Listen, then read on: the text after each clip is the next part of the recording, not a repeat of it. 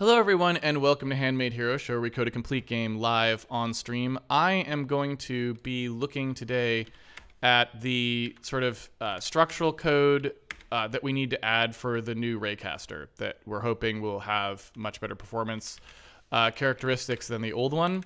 Uh, it's been kind of a battle. Like, this is pretty tough to do CPU side only. Uh, CPUs are just really still quite slow uh, in terms of parallel flop stuff. Uh, they're not horrible, but they're not nearly where like a 2080 is, you know. So we'll see. But I think we can do a reasonable job. We're already running real time with the old one, and the idea here is just to get us up to more like a 60 frames a second frame rate instead of a 30 frames a second frame rate. So we're looking for a 2x speed up here if we can get one. We don't know if we can, but we have a lot of fat left to trim. I think we can speed up the raycaster. I also think we can speed up the diffuse uh, the specular to diffuse conversion, which is a pretty expensive process right now, and we didn't think through it much.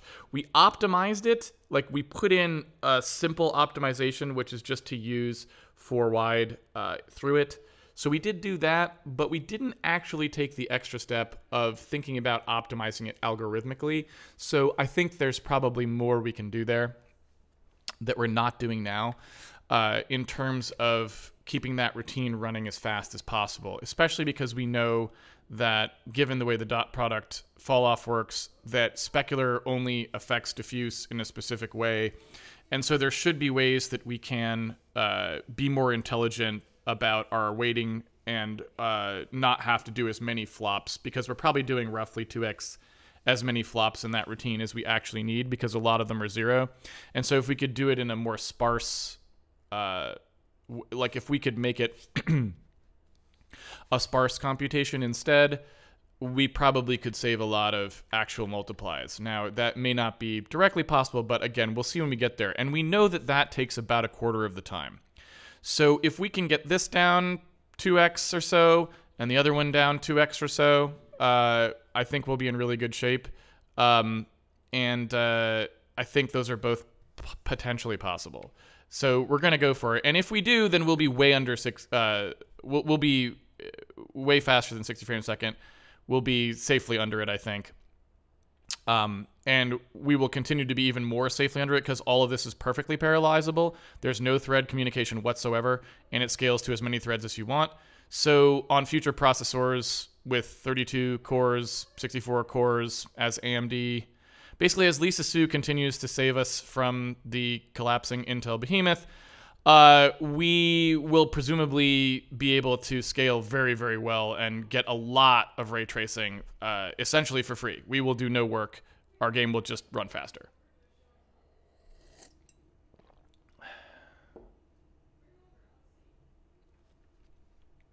All right. So let's go ahead and take a look here. Uh, yesterday, I think I made some really great improvements personally compared, but that's really more of a statement of how bad it was before, to the downstepping code here where we actually have to do uh, the work of switching to scalar. Uh, this is now much cleaner. This is a much better way of computing those normals than we were doing before. I'm really happy with how that turned out. Uh, I know this can be better but it's now I think within striking distance. So you know I think in probably optimizations to this code will not yield any practical benefit at this point because it's down to uh, so few operations, and this isn't this part does only occurs after everything's done anyway that we don't really care. So I think we've gotten out of the weeds on this. There's still an open question as to how we want to handle the actual sampling, uh, and we'll probably take a little bit of a look at that at some point as well. But for the most part, I'm pretty happy with how this goes. And mostly it's just waiting to be debugged now. I think it's structured relatively well. Uh, and I think I'm also excited to see how our Mincom uh, are. This this was some this was some pretty fun. John was talking about the hacker's delight, and I was thinking about this when he was talking about that. As I thought this was pretty good, where we do our uh, H comp, we do one shuffle for one instruction, and one minpos EPU 16. So it's two instructions to figure out which lane the the raycast float that we wanted is in. Two instructions for that seemed pretty good to me. Like, I don't know. Uh, I, I don't know that we could have done a better job than two instructions for that. Maybe we could have. I don't know. But I thought that was pretty darn good. Um, so we'll see if it really works. But I thought it was pretty pretty good stuff. All right. Anyway, let's take a look now at uh, the the grid raycast code and just talk about what we actually need to generate. So there's two pieces to the puzzle. One is this part here, which is called walk table. And walk table is the thing that says for any individual location uh, in the grid, how do we know uh, what we should raycast to along a particular ray? And this code is a little bit of a lie right now. So this probably is not going to work. Yes, we can pull directly out of a walk table. No, we can't then uh, immediately access the spatial grid nodes from there. That's not a plausible thing that can happen. What we actually need to do here is we need to do some kind of a range check, and we just need to step through the uh, we need to step through the space until we like by using deltas basically right? So in other words we're on a particular grid spatial grid uh, location. We need to each time we need to like go okay where do we actually want to step to? And we need to look that up. So one way to think about that would be we have like an initial so we have an initial grid index something like this so it's it's like, you know, whatever this is, we don't know how to find it, right? But we're going to try and find that, and that's something that would presumably be passed in here. So we would start with an initial grid index uh, that we're probably going to get passed from the parent. In here, we will go through the walk table as a delta. So we would say, okay, we need to take our grid index and we need to add whatever's in the walk table to it. So it'd be something more like a post, like a post increment where we just go to the next thing. Now, the thing about that is that would be great, except we don't really know what to do at this point uh, about the when we get to the end, right? There's a couple of different ways we can try to make this work. The problem we're going to have is if you imagine we've got this voxel. And we just want you know we've we've arranged it. Memory is obviously one dimensional so we've collapsed the three dimensions down to one dimension by doing rows. You know then we stack the rows. Then we stack the rows of rows right to get a three dimensional thing. And what we'll find is excuse me what we'll find is that going off of the top or the bottom of this structure will naturally work with just one range check. Because if we go below zero, that will wrap to a very high number. Or if we go off the end, that will be a higher number than the total number of things in the table, in the uh, in the spatial grid. And so one range check, which is are we less than that max number, that will give us the termination condition we need, right? However, what we don't know is when we wrap around a, some other boundary. So the stacks will will would be checked by just that one condition.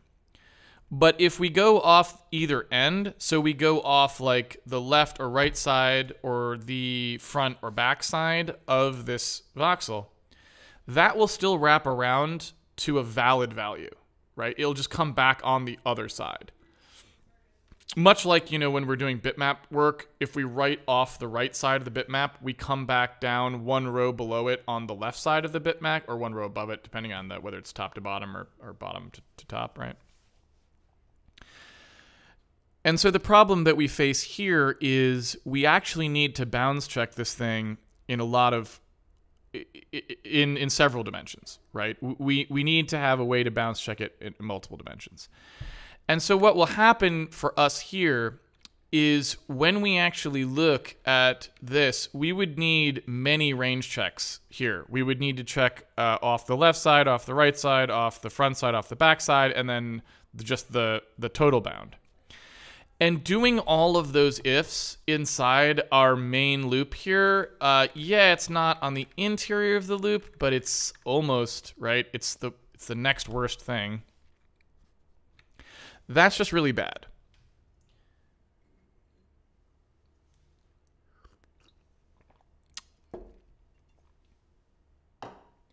And so I think the way that we want to solve this problem is instead of doing any checking here, which would be inside the loop, I think we want to just do the checking once outside the loop. And then we just adjust this walk count value to say what it's actually going to be. So I think what we really want is when we go down and look at the uh, raycasting here. So when we would ordinarily do the grid raycast, what we want to do is have something where like the walk count here gets set specifically by looking how far can this go before it hits one of the boundaries and then it sets the walk count. That way we do the if checks once per raycast rather than once per node, right? So that's a potential savings of, you know, six, seven, eight times the number of ifs that we're reducing out of the um, out of each raycast, and that to me seems like way better, right? So I think that's the clear choice there. So that should just this should just propagate through, um, and uh, we would send that walk count down which means that this part here, when we pass the sample direction, is not really going to quite work the way that I would have expected. Um, I mean, we still could do that here, but, you know, uh, I mean, I guess we could. We'll just modify them when we pass them down, right? So that walk offset, uh, in this case, when we set the grid index here, uh, and, and in fact, I suppose if we look at what we would be doing we could almost just do a test on the termination condition as well. So we may want to restructure this a little bit too. Uh, in fact, what we may want to do is this.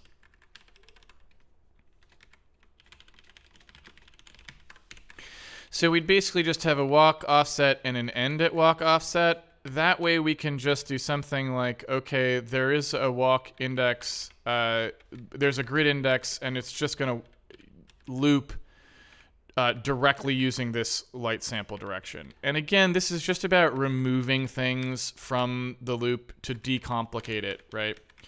Um, and so this way, uh, we can presumably just do a test. Now, I'll be honest, it's a little bit difficult for me to reason through and I apologize. Uh, I should know this, and I'm not sure that I do. So, if you take a look at the way that this is working, um, so at the end of loops, there's a thing that happens typically. Uh, it's called uh, macro op fusion. So there's there's different kinds of of fusion that happen in a pipeline. One is called micro op fusion. The other is called macro op fusion uh, that involves smushing things together that would normally happen separately. And when you're constructing loops, if you actually care about performance, which we're going to start to soon, in other words, we've got our vTune set up, we're trying to make this routine fast, so you know, normally you're writing a loop, you don't have to think about this particularly much because you're not thinking about trying to, you know, extract a ton of performance for it from it. But in this case, we are you want to make sure that the the end of your loop is the place where the test is going to happen and you want to make sure that that test fuses with the loop jump. Uh, and what I mean by that is if you take a look at the assembly language code um, and and I can I can show you the Godbolt here uh, because it's kind of a it's you know it's a it's a mellow day here at, at Handmade Hero. Um, so if we were to go to Godbolt and take a look at what a loop looks like when you actually compile it, right? Uh, so let's suppose, I don't know, um, I don't really need this to be called square, but, you know. Let's just say we've got a count in here, and I don't know, yeah, like a float that comes back, something like that. Uh, and maybe we've got a float here as well. Uh, that's like uh, stuff.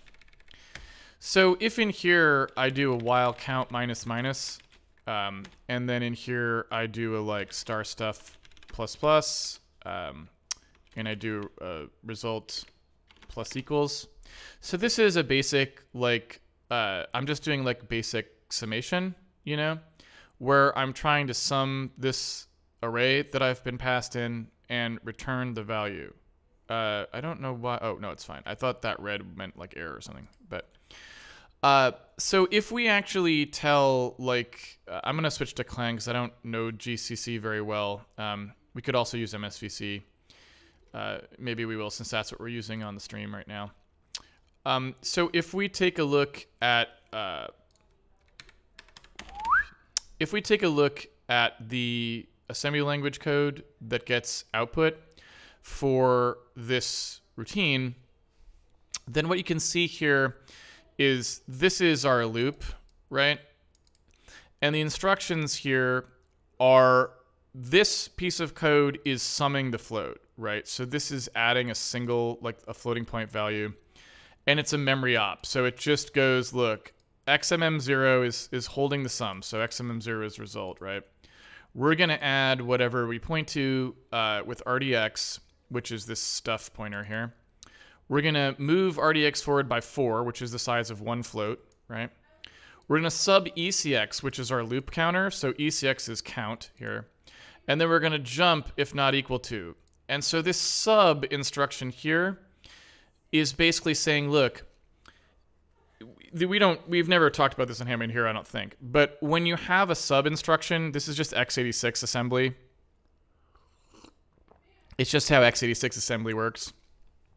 Sub instructions, they when they hit 0, they actually will so if you do a sub and the result isn't 0 or you do a sub and the result is 0, it sets a flag differently in the processor's uh, condition table. That I don't know what you want to call it, condition register, whatever you want to. I don't know what the right term is for that. I apologize.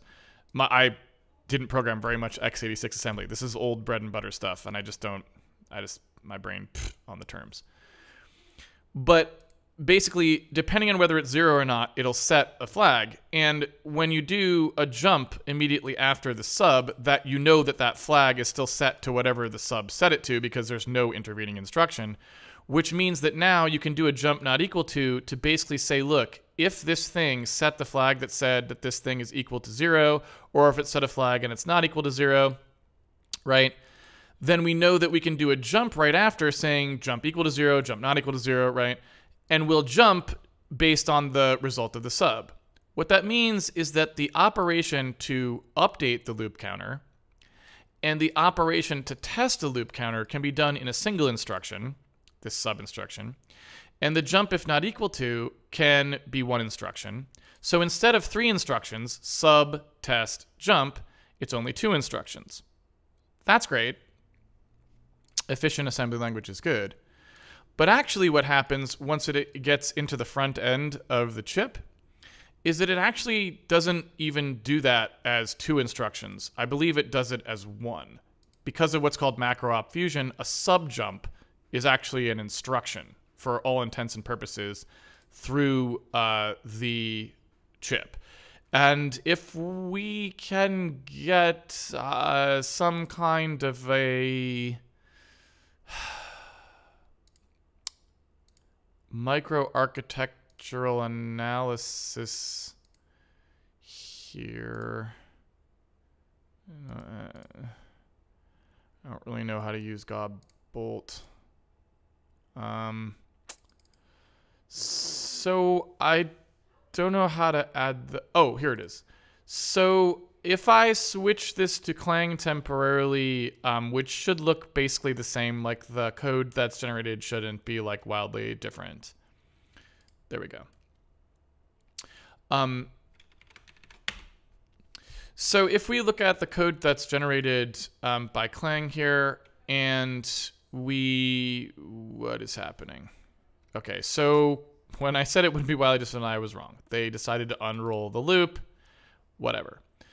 Um, so they unrolled the loop and they did a totally different way of doing this routine, which is not what I would have wanted them to do. And holy cow, did they spam out way too much code, which is not really what I would have wanted them to do in this particular case, but oh well.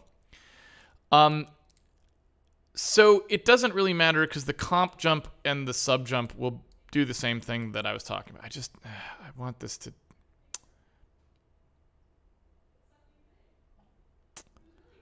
Uh, how can I convince this to do the thing I wanted to show it to, to show? I mean, I, I can still show it, but I just talked about the sub and I wanted to show the sub, but I can't really make it do that. Um, so like one way to do that would be like to give it an offset it didn't know it could trust. So for ex- so just to be clear, I'm sorry, I, I knew what it was doing here and, and maybe you didn't.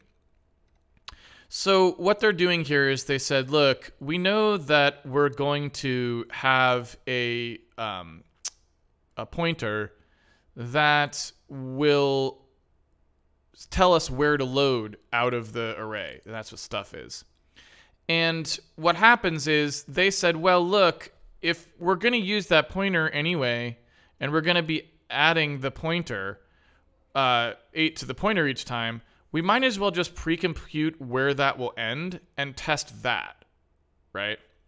So presumably if I look up here somewhere, they will just do an add with the total number uh, that's in count, right? Uh, and that's how they'll figure out where this thing's going to end. Uh, at least I assume that's what they'll do. Let's take a look. So they're comparing EAX with ECX. So EAX here is computed where? That's a comp. Here it is. So they load the count into EAX here, right? Which is going to be like this integer. Uh, and then, I'll be honest, I'm not familiar with the DIL. What is that? What is I don't even know if I've ever seen that before. I'm not sure what that refers to. That's that's a new one for me. Like I said, x86 assembly not my strong suit.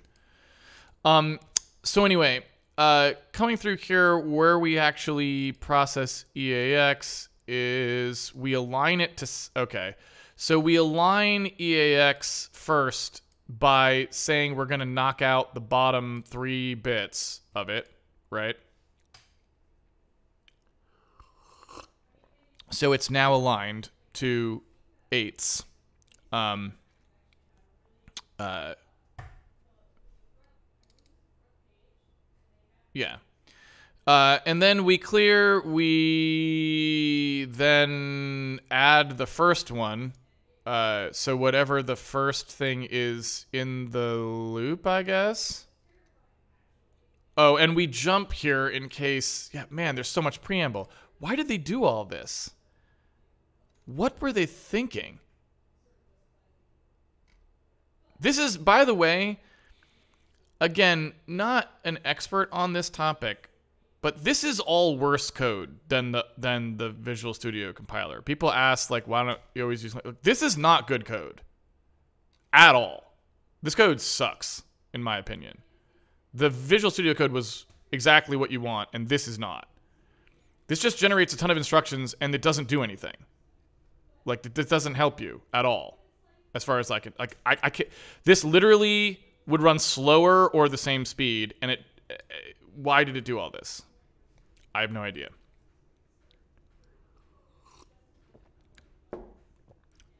but anyway, so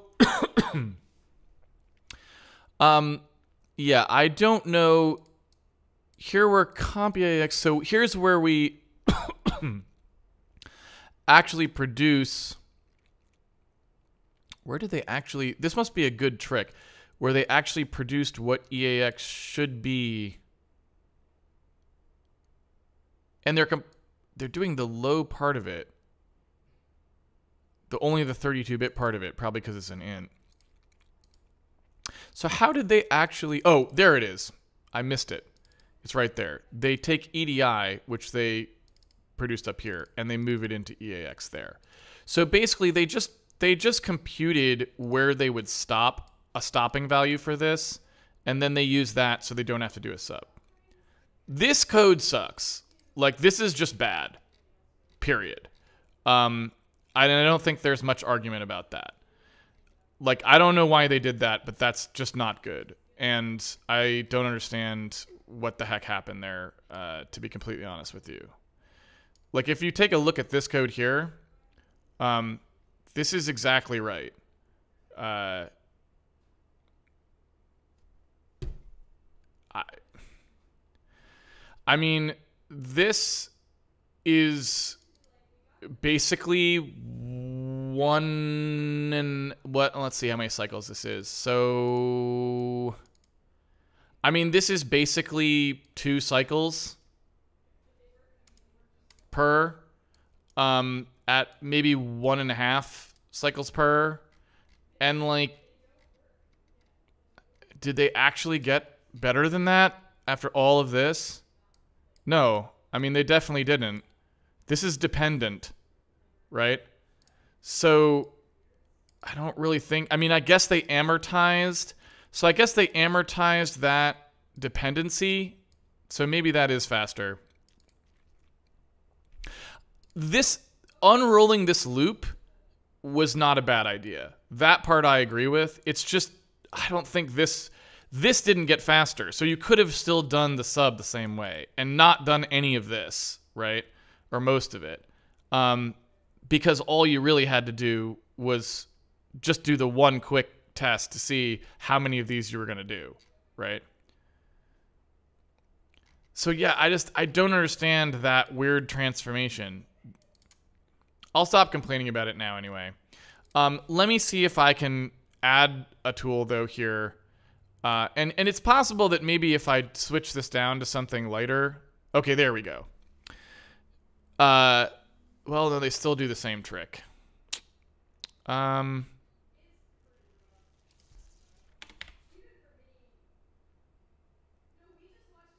I don't know. So I'm sorry, I can't really figure out any way to get this to still use uh, a sub here, but it's fine. Anyway, you the point is, I wanted to talk about the the fusion that happens at the end of the loop here. So basically, if I add in here uh, the microarchitectural analysis, and let me remove this so you can see it. Uh, I'm gonna put that like over here because we don't need the source code while we're doing this.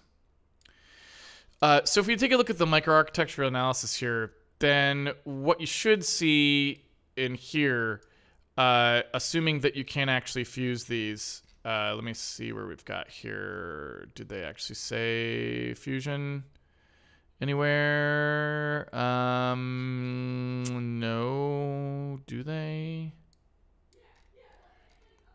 Do they say it? Uh, they don't. They don't say it.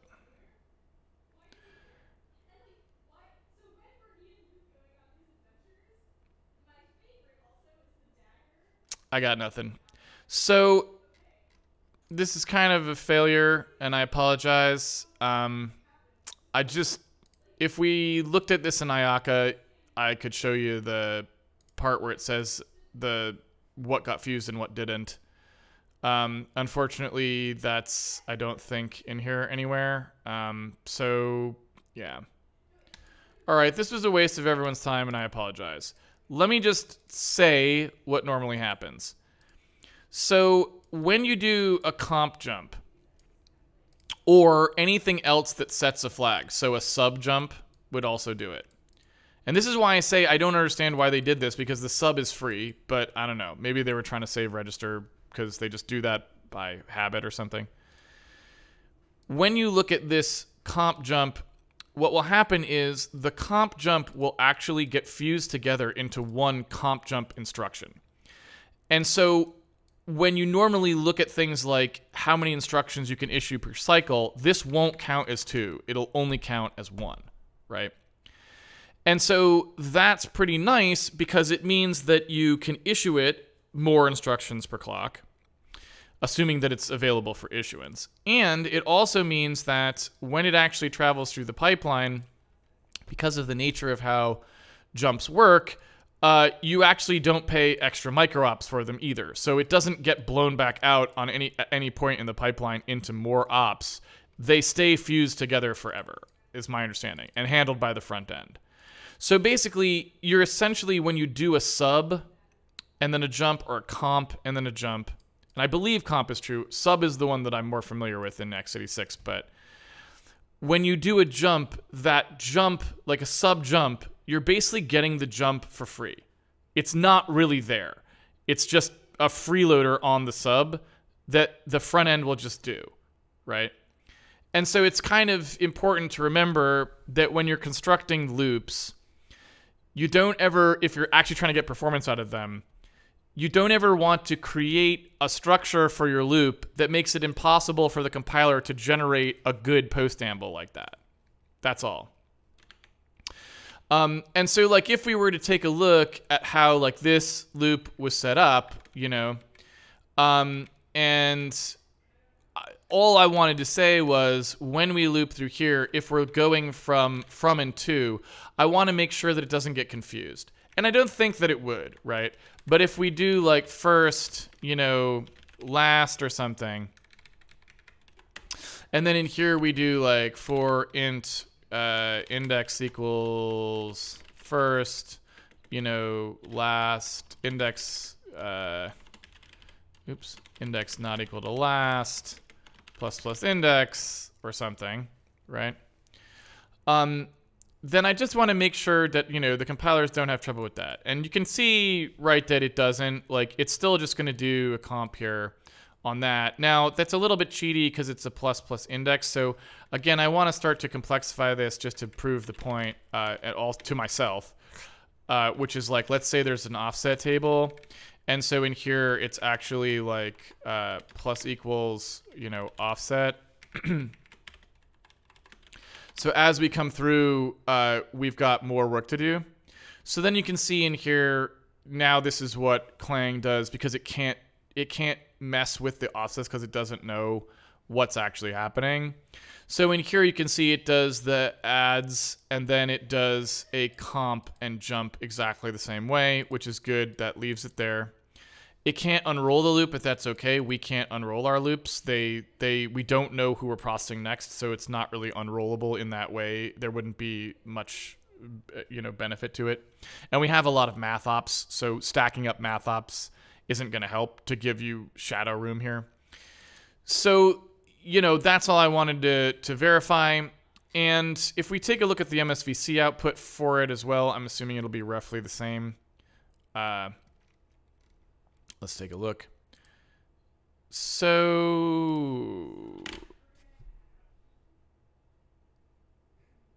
there it is. Um, so you can see here also, yeah, comp jump, same same thing. Uh, these are all pretty straightforward.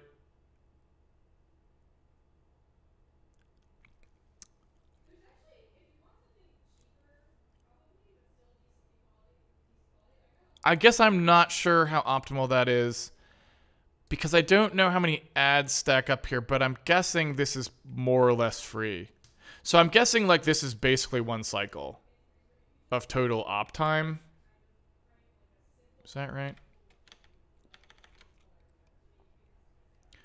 Um, this part here, so it's it's two cycles total. I want to say, because you got to wait. Uh, let me see.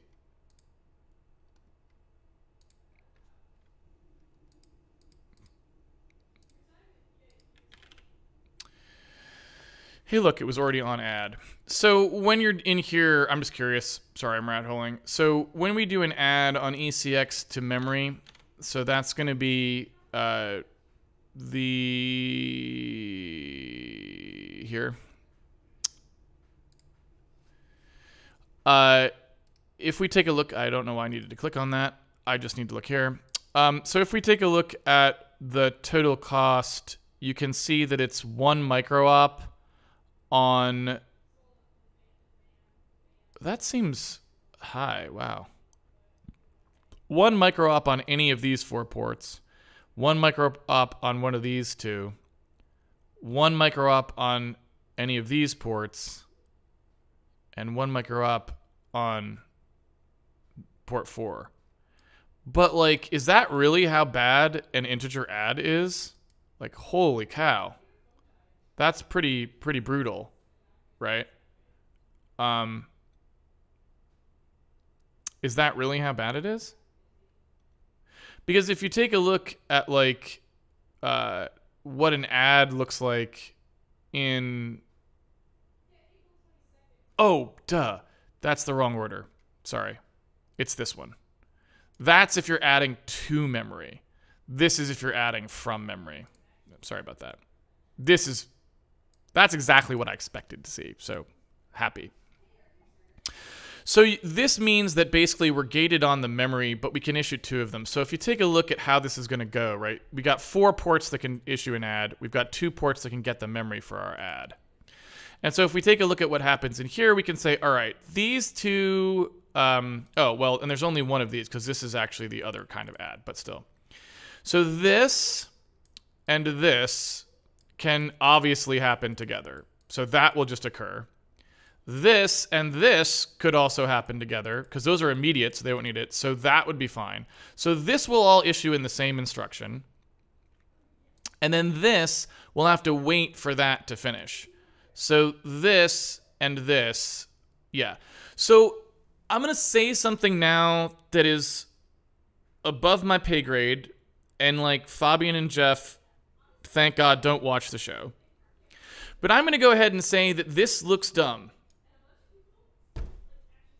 that just looks dumb to me, right? Um, because if you, oh wait, no, no, no, okay, no, never mind. I saved myself from embarrassment. Uh, I forgot. We changed this to having to load the offset number, so this is fine. Because I was going to say, if they'd just done this as a sub, then they could have issued this independently, but we're not doing it that way anymore. We actually need to load this part in, uh, so it doesn't count. So we do have to wait. So we're fine. So this will all issue in one instruction, and then this will issue as soon as it can. But it, even though it, uh, like, uh, I was trying to think of like how it could slip right in here. These can't fuse, so this is four. These are four instructions on the one cycle. They'll issue and complete, and then we have to wait anyway to the next cycle because we can't issue any more instructions. But this will happen on the next cycle and go right. Uh, while that's happening, it will start to issue some of these, presumably. It would probably try to issue these three while it's doing this, like on the same cycle it issues this, right? So it'll get some, this will be like a one and a half cycle loop throughput kind of routine, probably. That'd be my guess. Um, so I don't know exactly. I forget how you get Clang to do its little dance. That's kind of crappier than IACA, but at least it still exists. IACA kind of got uh, sidelined.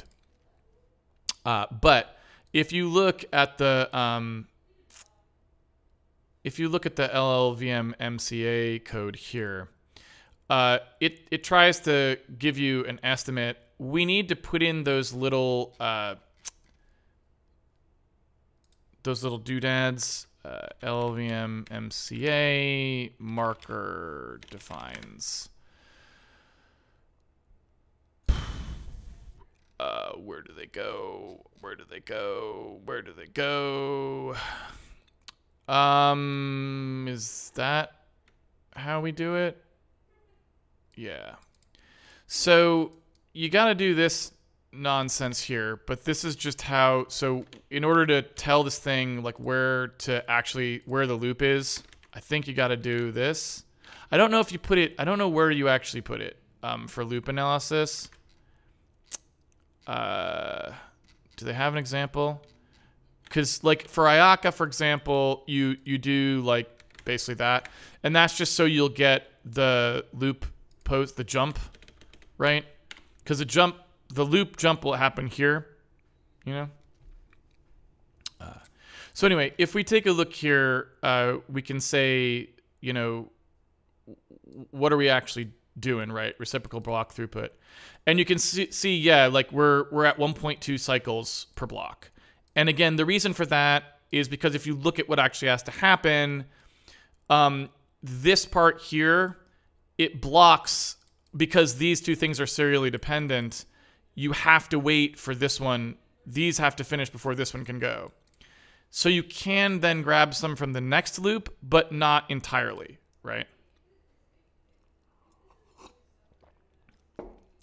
If you didn't have to wait, if if this here did not appear here, then this whole thing could issue one cycle per loop.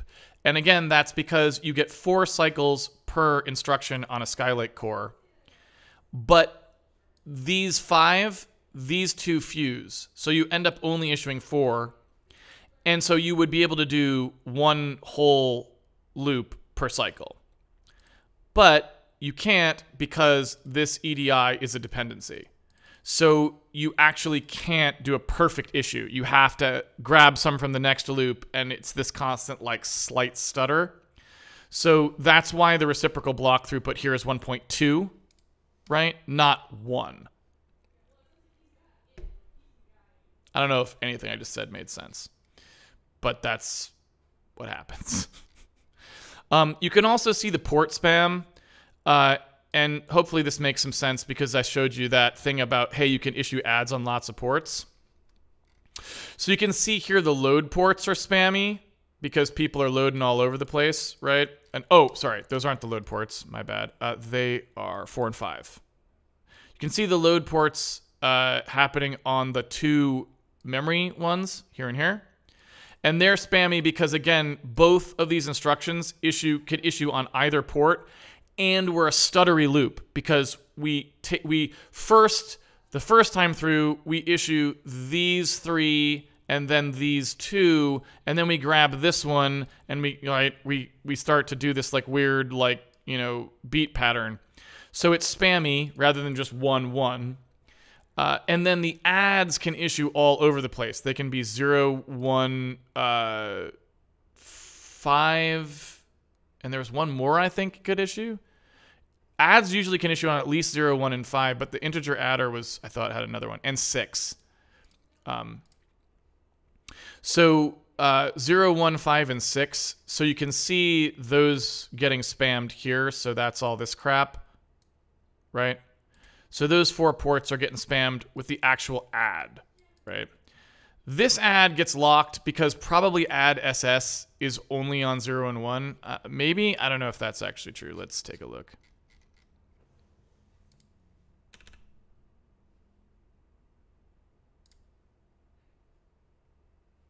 Yeah, it's only on 0 and 1, right?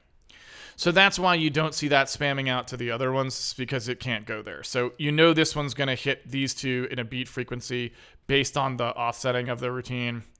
Uh, and then you know that your uh, scalar adds are going to spam out uh, further because they're they have two more ports. They, they, there's four integer adders and only two floating point adders. Um, so hopefully that makes some sense. I'm sorry that this part's behind my head, but you only need to see that. I mean, that there's nothing over here that you care about. Uh, so again, that's what happens. Why I can't find the micro op fusion or macro op fusion stuff listed here, I don't know. Maybe it doesn't do that. Um. Uh, yeah, I don't understand like why we can't get that information. Um. Kind of bummed about that.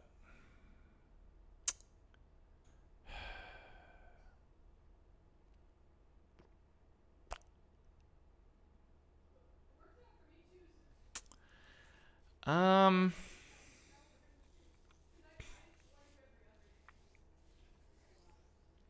I mean, maybe maybe comp doesn't fuse. Maybe only sub fuses.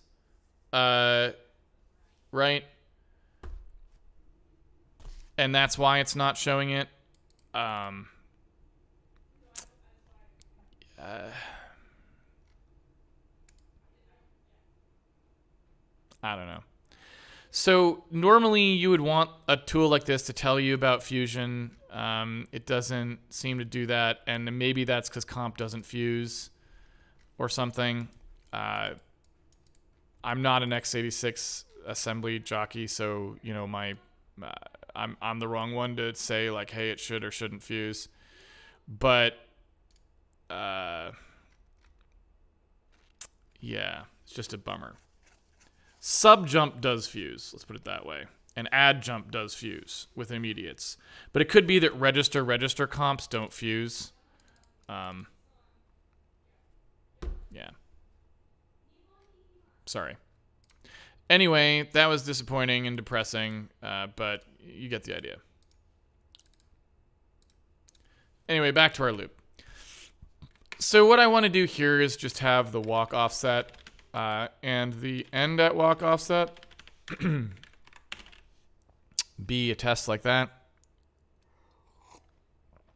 I'd like to be able to to check the end of the loop for fusion and make sure we're doing that in a way that's amenable to it because there's other ways we can write this, obviously. Uh, and then at that point, well, I guess this is actually grid index now.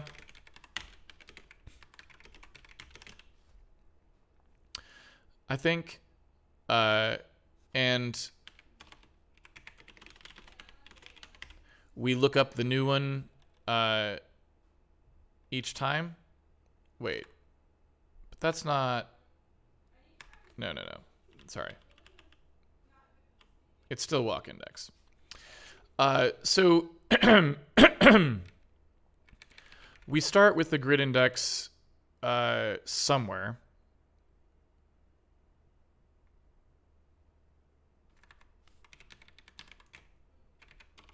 I'm going to call this initial grid index. And then I'm going to have end at grid index. Uh, and that way we can just say that we're going to start the grid index here.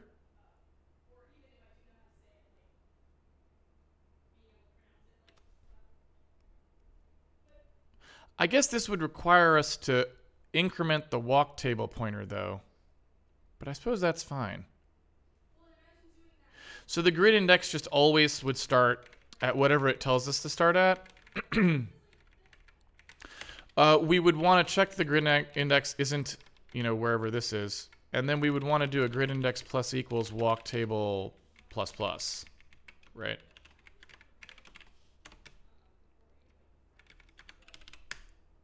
I think. Um,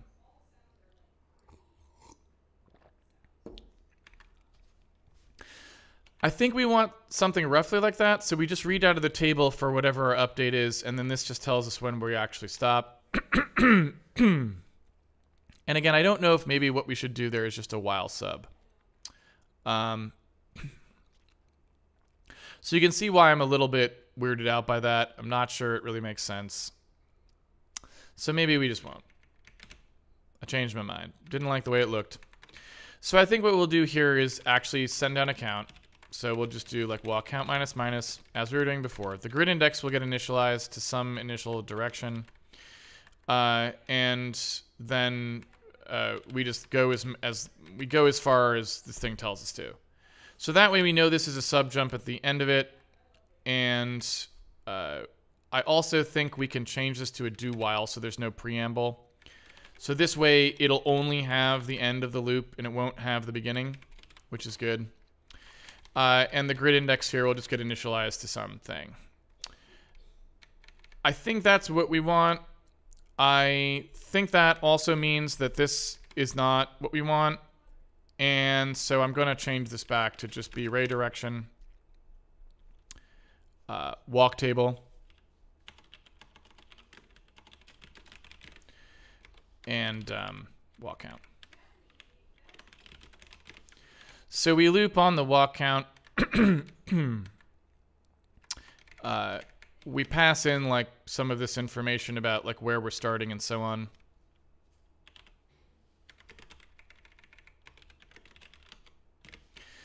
Um, and off we go. And we can pack that information together if there's weirdness in the calling or anything like that, but that all seems a little premature. So I think that's a good enough setup um, I'm pretty happy with with how that looks. And this unfortunately needs a preamble. So the problem that we're going to have here is that nodes can very well be empty. And so if a node is empty, then we want to skip it. So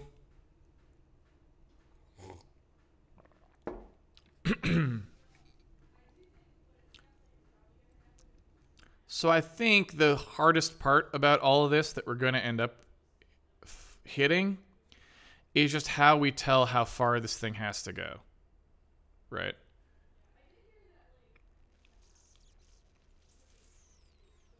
Yeah.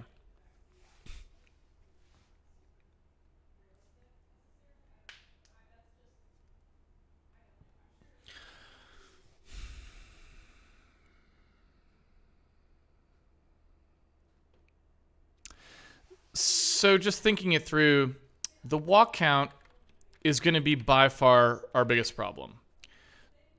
Everything else now can be completely pre-computed. So everything in the walk table can be pre-computed, and it'll just be stored in the H file. So we literally won't have to do anything for that. We'll just load it, and that's it. So the problem as I see it is that the walk count at the moment is unfortunately um, I'm not sure how we're going to generate that. Because what's going to happen is when you're inside, when you're going, okay, I'm at this grid location, I want to cast this ray, and I know there's this many entries in the walk table. You then need to figure out where you would stop walking in order to not wrap to not exceed the bounds of the table. And I just don't know how we'd do that.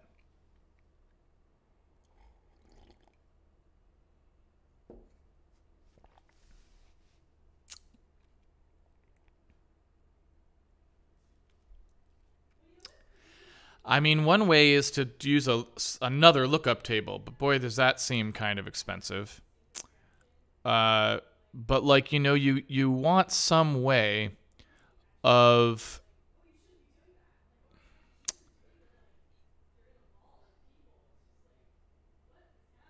you want some way of figuring out uh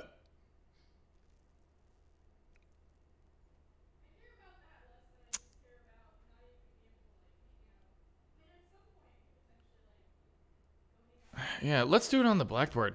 I don't even know. This is going to be the hard. This is going to be by far the hardest part of this routine, I think. Um. Well, it's not this routine. It's the hardest part that happens somewhere else that makes to, in order to enable this routine. And I don't know. so here's the problem.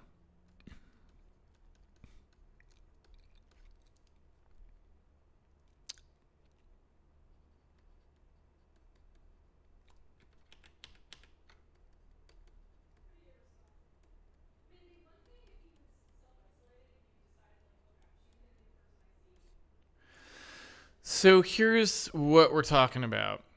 If we said, okay, here is, you know, a voxel grid, right? Well, you know what? We can do this on 2D and make it simpler. So here's, you know, some voxel grid thing, and I'm going to cast rays from here. So let's suppose that we were building walk tables. So when we built the table, what we did is we said, well, we imagine, right, that we are at the uh, far corner of this thing, and the ray direction is like whatever here. So what we do is during the pre-computation that we generate the H file, we just say, look, we know that it will cover these elements of the grid, right? So into the walk table, we say, well, how many were there? 1, 2, 3, 4, 5, 6, 7, 8, 9, 10, 11, 12. So then we know that the walk table for that ray is 12 long, right? You know what I'm saying? So then you come to the actual runtime and you say, all right, here I am, and I want to do my raycast. Well, only the first three are valid, right? Because as soon as you finish, you can't go outside of of that. So the question is, what do you do about that?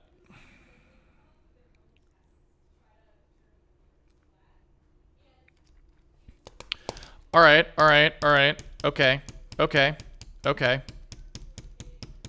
Better idea we make a skirt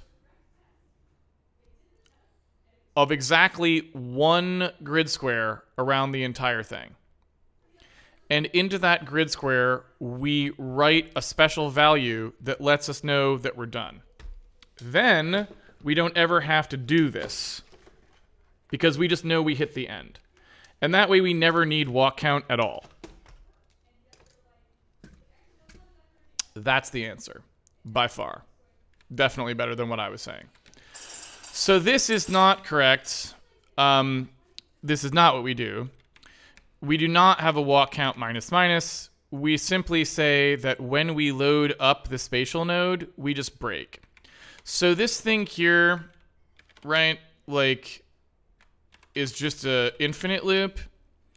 And what we do is we say, well, okay, um, in the event that we've got a certain value in there, we do one thing, and in the event where we've got another value in there, we do another thing. And that that if is not a new if, it just replaces the if we had before on the loop invariant.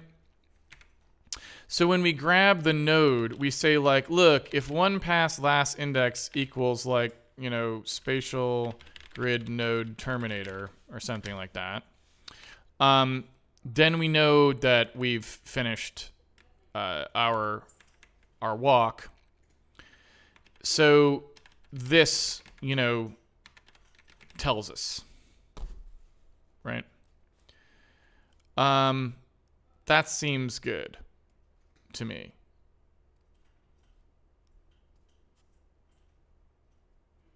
That seems good. So we'll say like, look, if the start index maybe is like not what we want, then off we go. Yeah. Okay, whew, that gets us out of a jam because now it's trivial and we don't care. So we just put a skirt around the whole thing like an apron around the outside.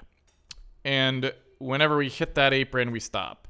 So that way we don't have to do any complex checking whatsoever. We literally just point at the table and go. That is great. That is very good. Um,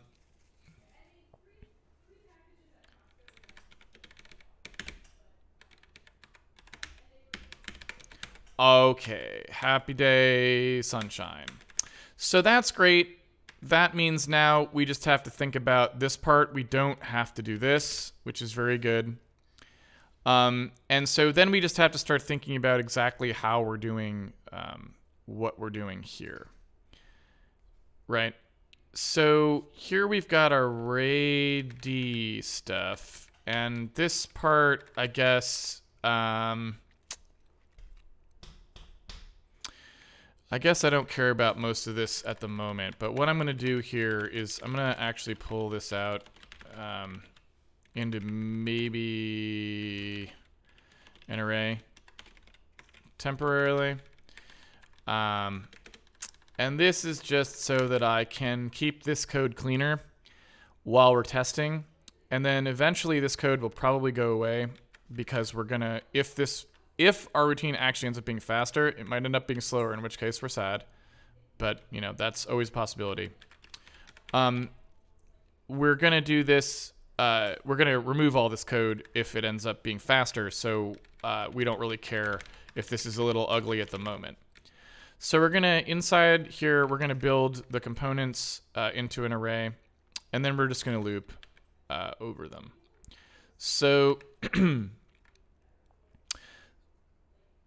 the transfer PPS array uh, will just start as that for the moment. And then we'll have a ray index equals zero, ray index less than uh, four, plus plus ray index. And this will just serve as our temporary here, right? So we clamp the moon dir minus uh, the ray direction. So our ray d equals ray d array uh, ray index. So we grab that out. Uh, maybe I'll call that this ray d, like so.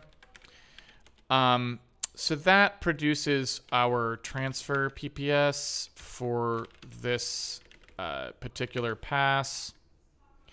And then we need to pass to gridcast the things, you know, give unto gridcast the things that are gridcast uh, and render unto transfer PPS that which is transfer PPSs. So this is this ray D.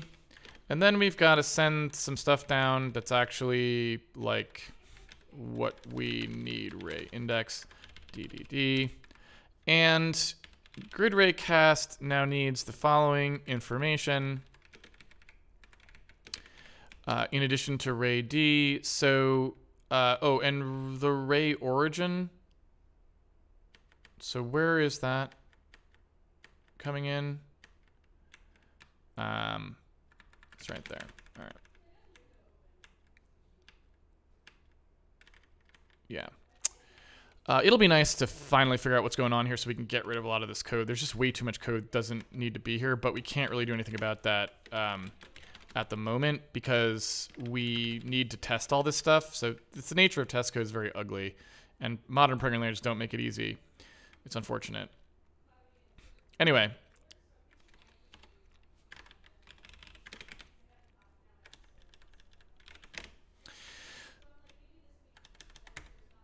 So we need initial grid index, walk count, and walk table. So like so. Uh, and if I remember correctly now, what we're saying is the walk count goes away because we're just using the apron to determine whether we stop or not. So we really just need the initial grid index and the walk table that tells us like the offsets, right? Now the walk table in this case is really S16s. I mean, they're sort of deltas. So, you know, we might want to say that um, just to be a little bit clearer about what's going on. Uh, but that's basically the idea. Uh, so now in here, when we do uh, ray d single, that doesn't actually have to happen. It's here. The walk count isn't going to be used.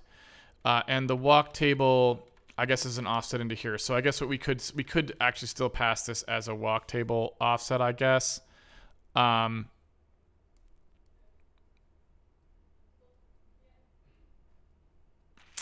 but I don't think we want to.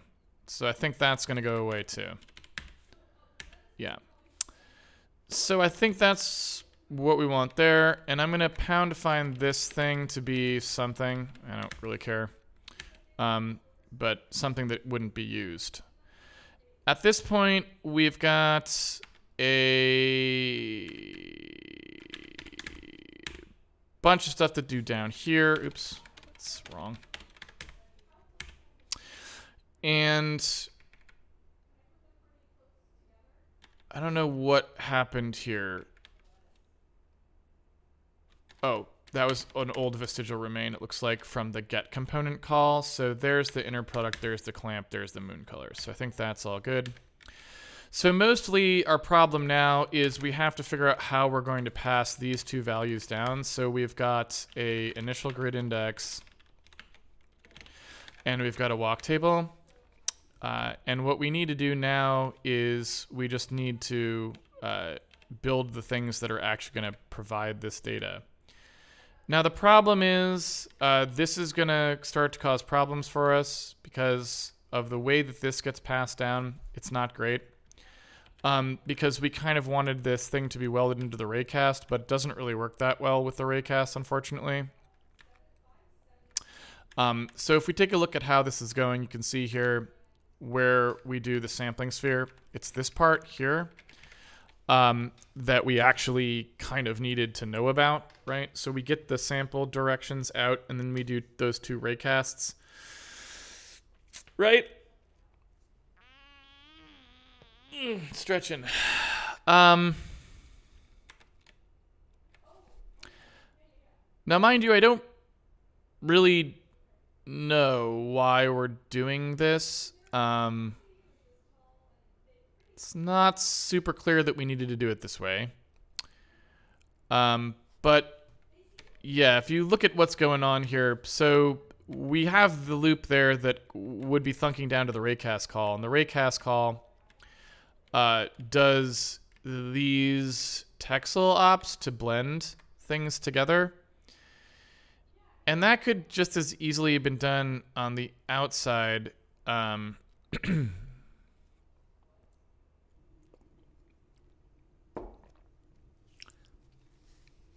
but it wasn't. And I'm assuming that we put it in here just for convenience, uh, but there's not a lot of real reason that it should have been happening there, to be completely honest with you. So I'm not sure we actually need that or want that. We may actually want this to be moved to the outside, at which point we could also call grid grid raycast to produce these values. So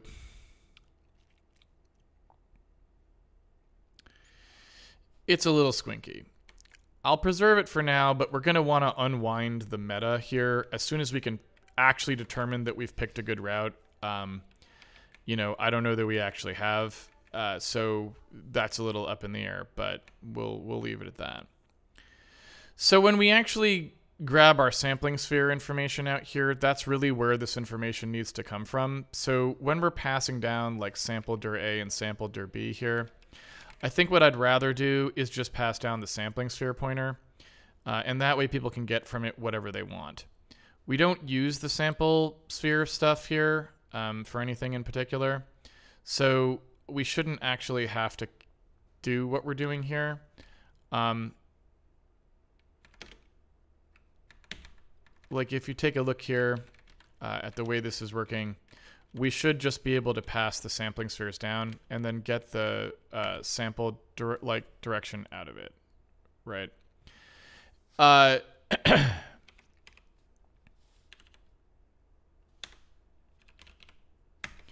So here's what that actually looks like. And you can see that we've got like a array of sampling directions. You know what I mean?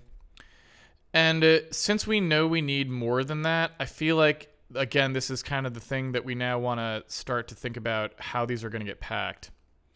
So we may just want there to be a parallel array uh, in here that you get.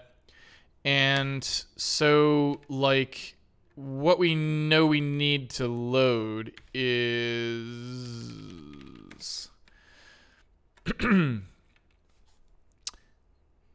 we know we need the initial grid index and the end at grid index. Uh, well, actually, that's not true. We know we need just the walk table, like where the walk table is, right? because we know what the initial grid index is and we know everything else. So we just need the location in the walk table that we would start, right? That's the only piece of information we actually care about. So in addition, so light sample direction is not super relevant. Um, so what we need here is like, in addition to this thing, we need another array that's like, how many of these, like, where do we start in the walk table? So when you load a direction uh, out of this thing, you go to the walk table and get that. However,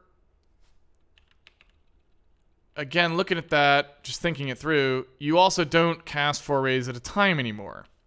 So that would also mean that, like, yeah, I guess the reason we set this up is this previously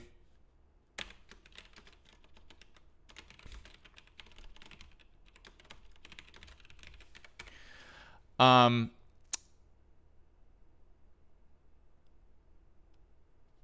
this previously needed to work. We, we, we don't need any of this. This previously needed to work with. Um,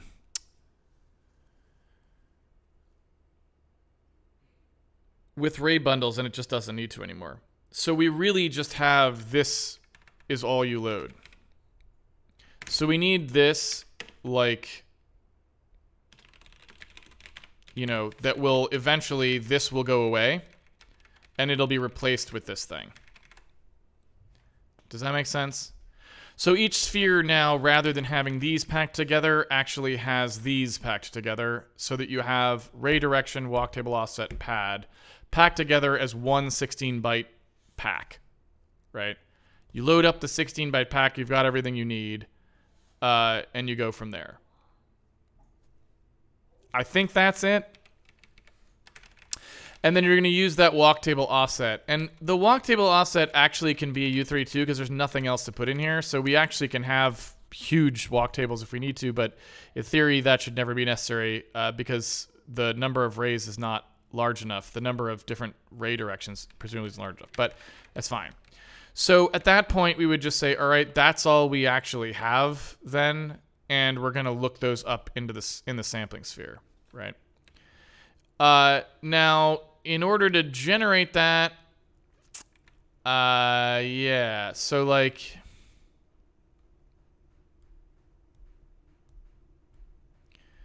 Unfortunately, we don't really have a good way to generate that.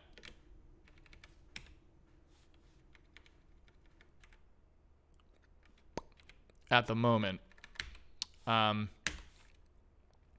because that's an, another part of the thing we're going to have to write, right? But what we want to do is make sure that the plumbing works here.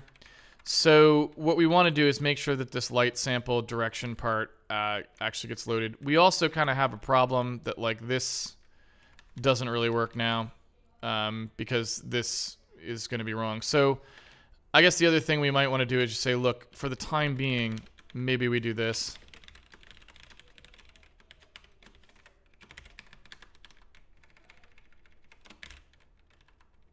That way we're not stepping on anyone's toes. So it's going to look something like that, you know? So again, the problem here is that we have a light sample direction that needs to get passed down, and we don't at the moment. Um, we we we're calling raycast to cast a bundle of four rays, and now we need to do a separate call for each of those because we're casting four separate rays.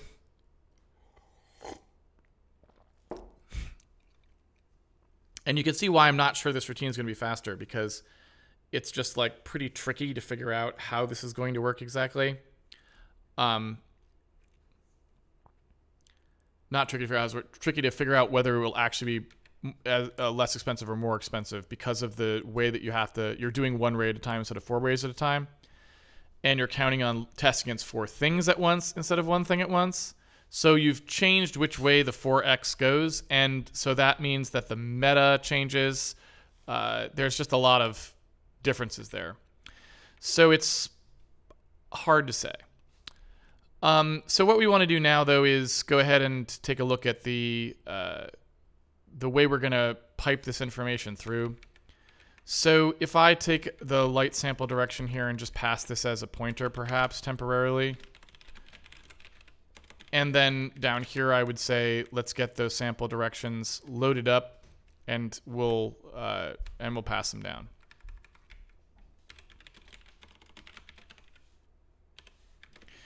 Furthermore, I guess this actually te technically can just come directly out of here. Um,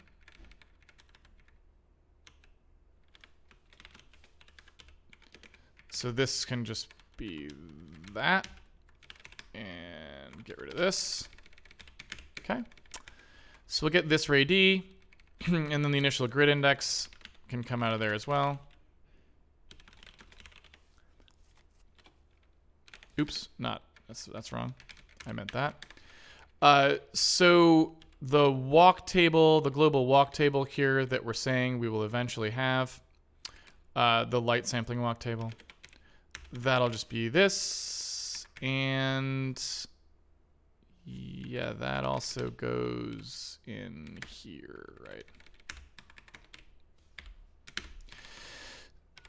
So the only thing we don't have right now is the initial grid index, and we know that we need to be able to map grid indices to, uh, we need to be able to map spatial positions to grid indices.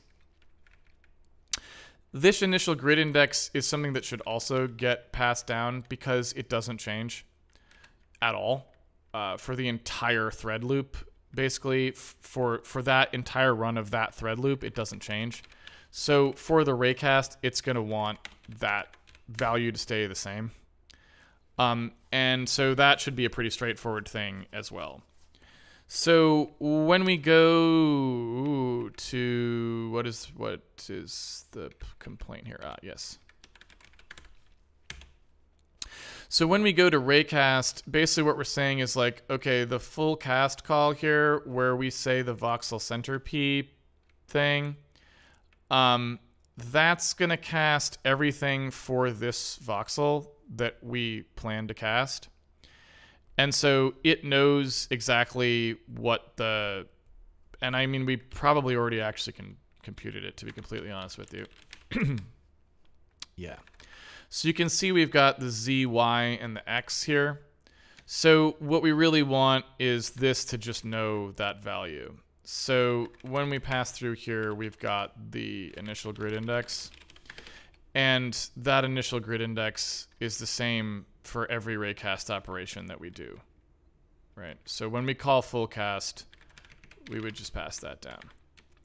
So it is initial grid index equals z plus y plus x. And when we're talking about the voxel dimensions here, right, we just do voxel dim and voxel dim.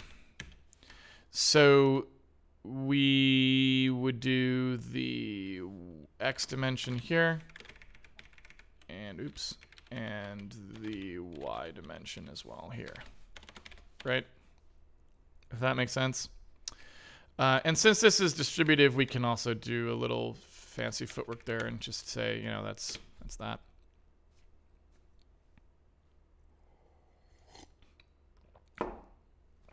so that's just maps us into the grid. Uh, and I think we probably want to make that systemic.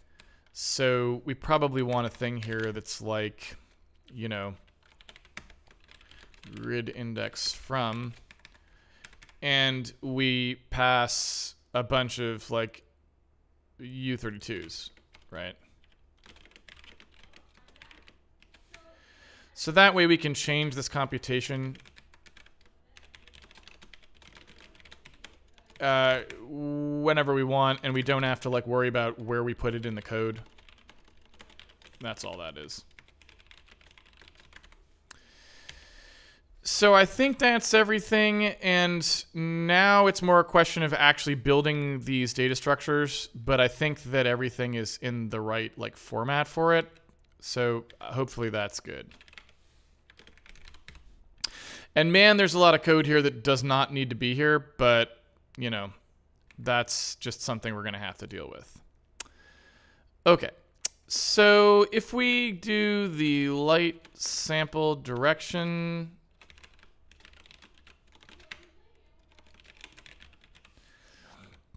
what we want to do here is say that this will be like ray bundle index uh probably i'm guessing for the offset. So like here are the sampling spheres. So we would say, you know, I don't exactly know what we would do, but we would say, um, for each sampling sphere we do,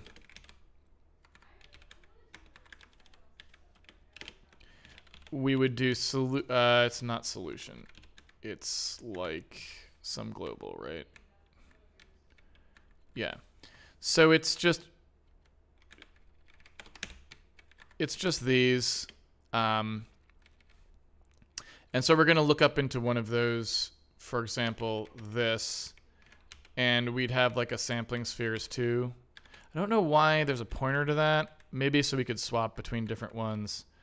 But, uh, right, like why is that? I don't even know why that's a thing.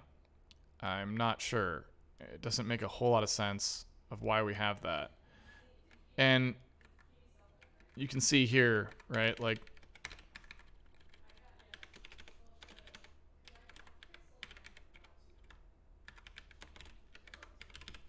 So let's say we've got one of these. Really, we don't need this. So we can just do light sampling sphere table 2. And then we have dir sample index here. And we're going to load out that light sample direction table. And then in the light sample direction table, we've got sample directions like so, same as before. Uh, and this time, the difference is we just be jumping up by four each time because we're loading four out. And that's all of this crap is just so that it works the same for the four wide or the one wide cases, which we all want to delete. So it's just messy right now and, and it sucks, but that's just how it's going to be for a little bit, right? So what we would say is light sample directions, sample direction, like and we would add to it whatever the ray bundle index was. Um, and so we know that the ray bundle index is getting incremented in a particular way here, like ray bundle index plus equals 2. Right? Uh, and what we want to do with the ray bundle index, I probably should have asserted that somewhere else.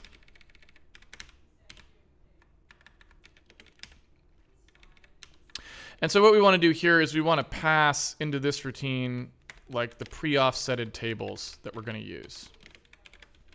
And so this for sample direction plus ray bundle index. So now what we're doing is we're saying, well, okay, we really go by fours when they go by ones, right? So it's like this. Uh, I'm sorry, by eights when they go by twos, right?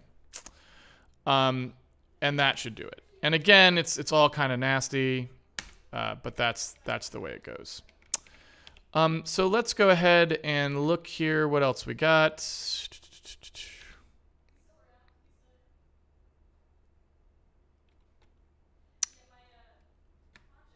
That is the wrong thing. This is light sampling sphere 2. Right? Voxel dim.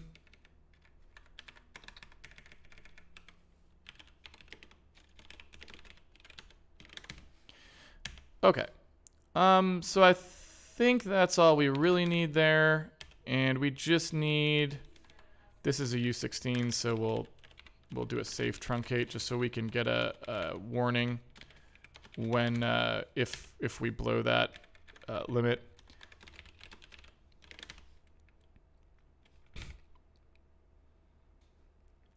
All right.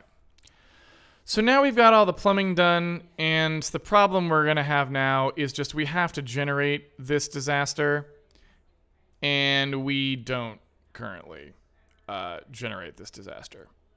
So we need to write the generator code that generates these, and we also need to write the sorting code that actually puts all this stuff in place. So for example, in here where we do, um, is it an end lighting computation? I don't really remember where we do it. We kind of sketched it out uh, somewhere in here. Yeah. So here's like us sketching out this routine.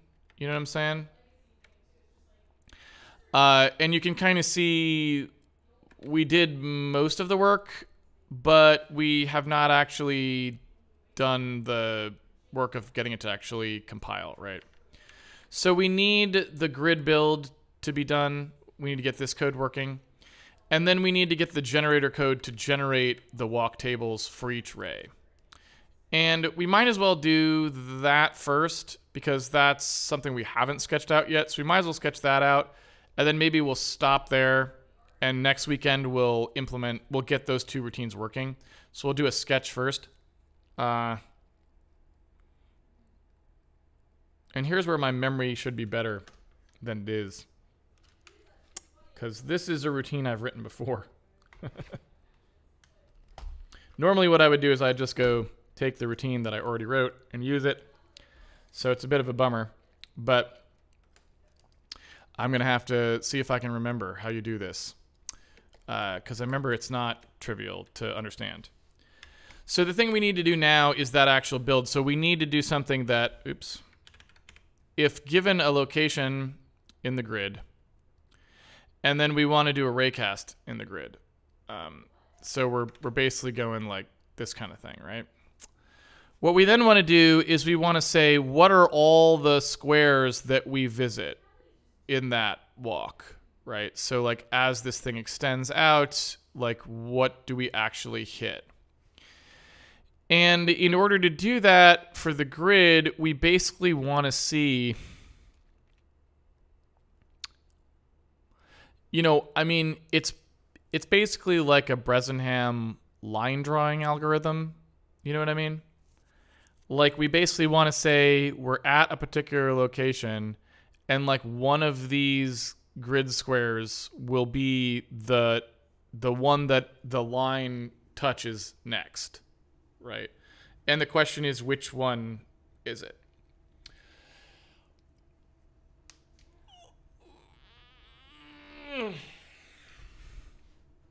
And then we just keep going till we generate a, a movement of till we know we've covered in all three directions, uh, checking all three directions until one of those directions has spanned the entire length of the voxel. Because at that point, you know you've you will have stepped out of bounds no matter what, right?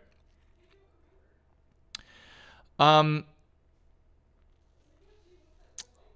so it occurs to me when I'm thinking about this too that probably those tables were too big because we can only move one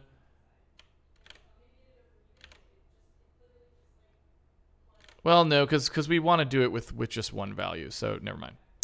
Um, so yeah.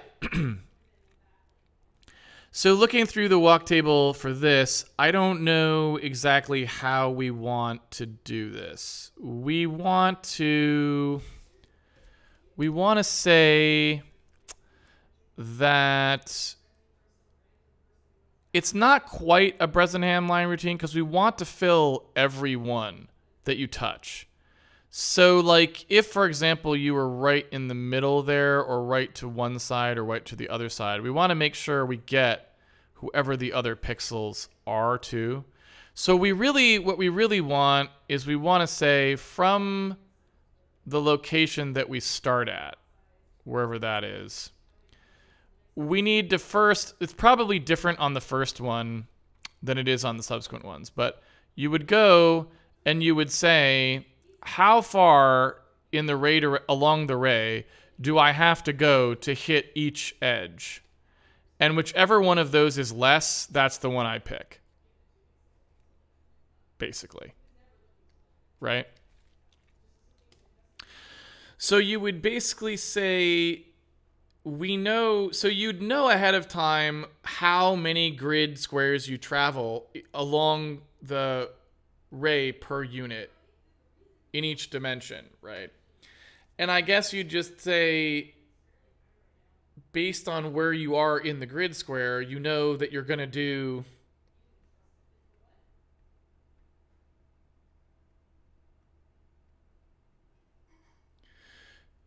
Hmm.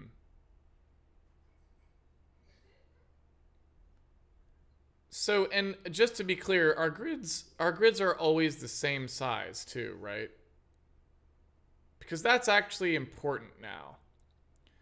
Because the grid has to this this walk table is computed for a particular size of grid, right? And that's that's important. Now we could do it we could do this at runtime. We don't have to pre-compute it actually if we don't want to. We could do it at startup because it's pretty quick. Um,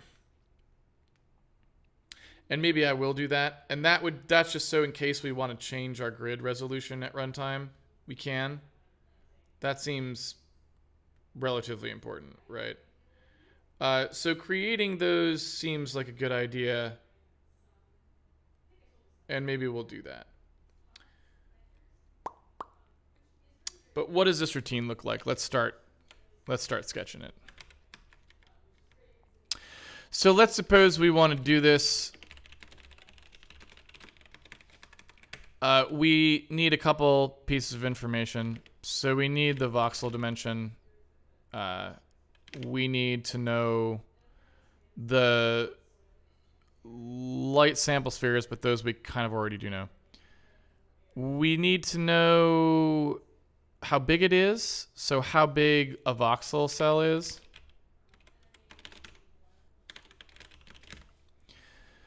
And that might be it.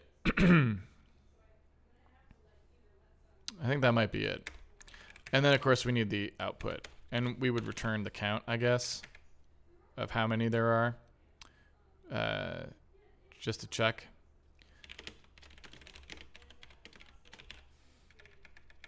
Right. So when we go to compute the walk table, what we would then do is we would start at the center so we would do...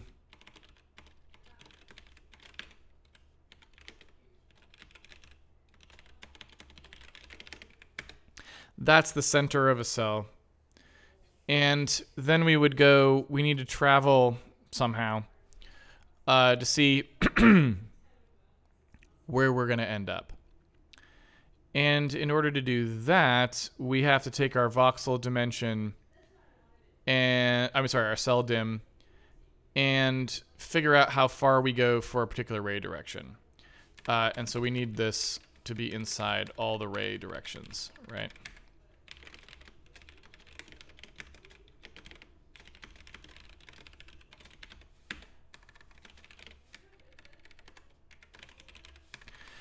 For each ray direction,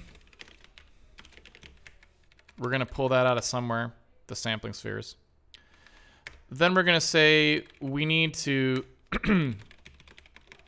loop through until we've gone far enough in one direction, whatever that direction is. Um, so it's probably something like this.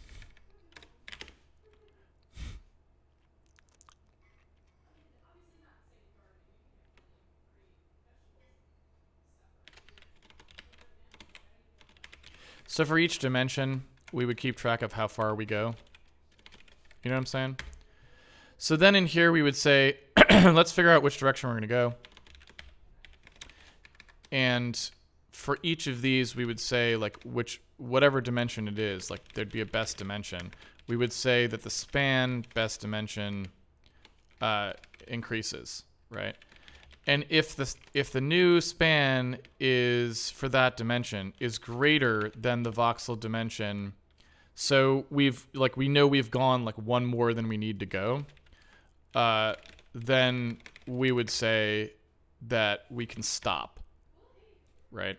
So our termination condition is just we've spanned the entire voxel in at least one of the dimensions x, y, or z. So we know that no matter where we started on the interior, we would have hit an apron before we got to the next cell we would be looking at now. So then the question is which of these uh, best dimension here, right? So we say like, where are we? We're at this starting location. We then need to say like, what's the best dimension to go along? And then we need to like, yeah, we need to figure that out. I think it'd probably look like this.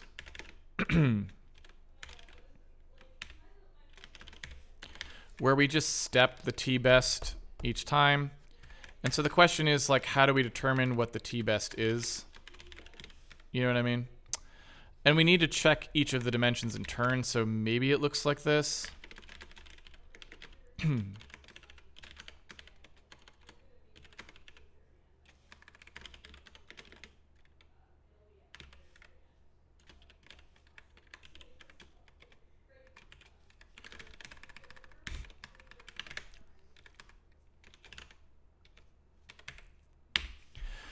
So we want to check each dimension in turn.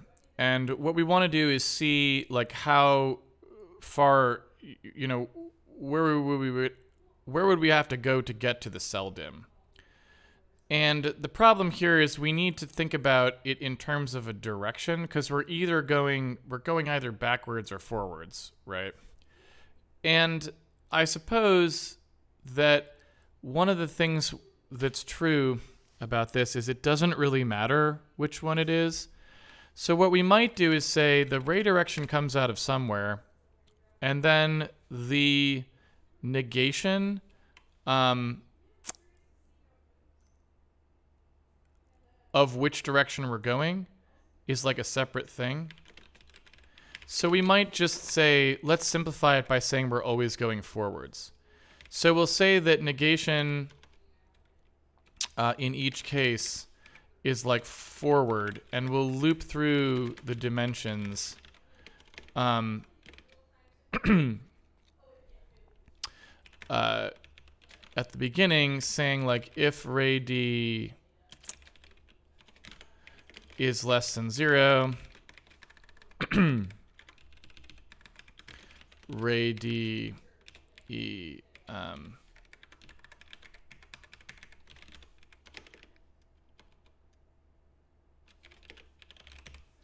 So we'll just negate it and set the negation parameter. You know what I mean?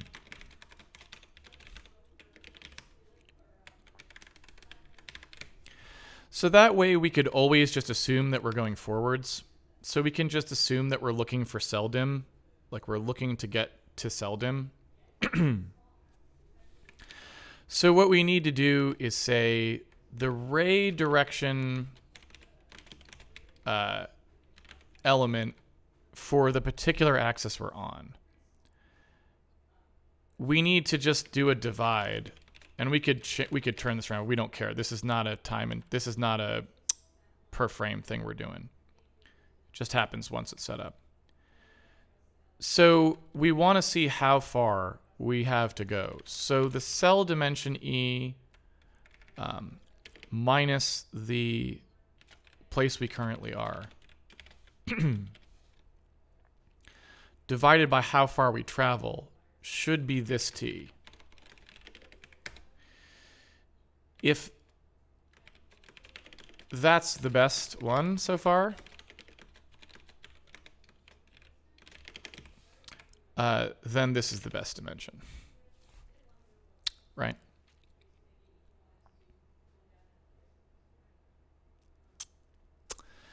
And that's kind of it. Uh, now all we need to do is have our incrementors. Uh, so really negate was probably the wrong thing here. So probably this is actually called step, uh, right? And so when we compute this, we would just say, what's the step that gets us to where we want to go? And we would either fill in the dimension index in question, um, and it'll either be positive or negative. So we could actually do this in the more like positive framed route, right? If it's positive, we take this step. If it's negative, we take the opposite step. In this case, dim step is just one at the start, right?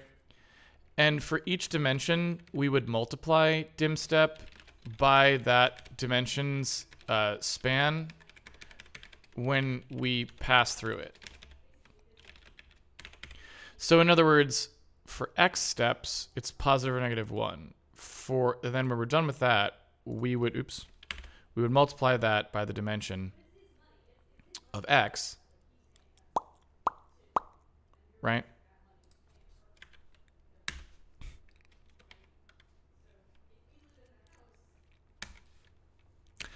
I think that's it. I think that's the whole routine. Um, probably forgetting something that we'll find when we step through it, but that's that's it.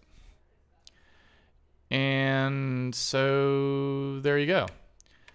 We just need to output to dest. And so we would do that here.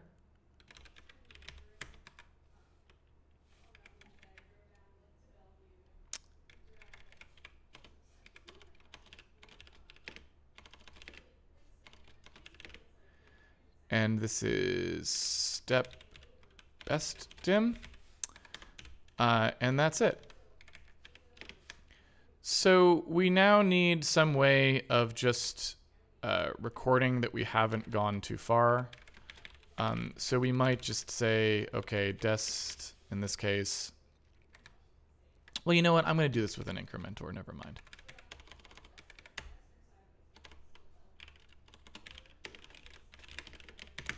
So we'll start at dest index 0, and we'll do a plus plus dest index. Or I'll do it this way. uh, and that way we can also do an assertion here that dest index is less than max dest count. So that way we know. Uh, and I think that's it. At some point in here, we're going to want to record where we started. So when we pull out the ray D, we're also going to want to do a thing that's like, hey, uh, this equals dest index. So like the walk table offset is this offset, right?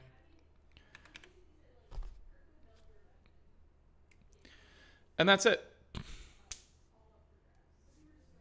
Not that complicated, actually. Um, I might be missing something, but that was pretty trivial. So, meh. I'm going to call it there for today. Uh, and we'll pick up the actual implementation next weekend. We've got everything done now, and we just need to like actually blow through everything and act and get it all running smoothly. And then we cross our fingers that it's actually a good starting point for optimization because we don't really know that yet.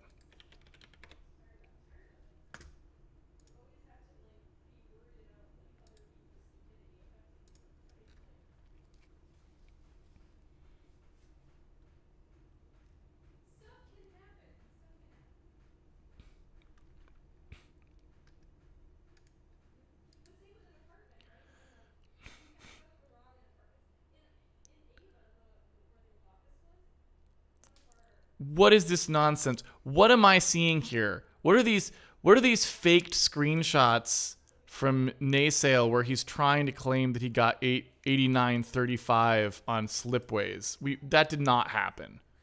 We all know this is like this is like the King of Kong when Billy something or other faked his Donkey Kong, Billy Mitchell. Thank you, George. This is like when Billy Mitchell tried to pass off that fake Donkey Kong. We all know that Naysale has never had an interstellar slipways that was four stars. I mean, come on.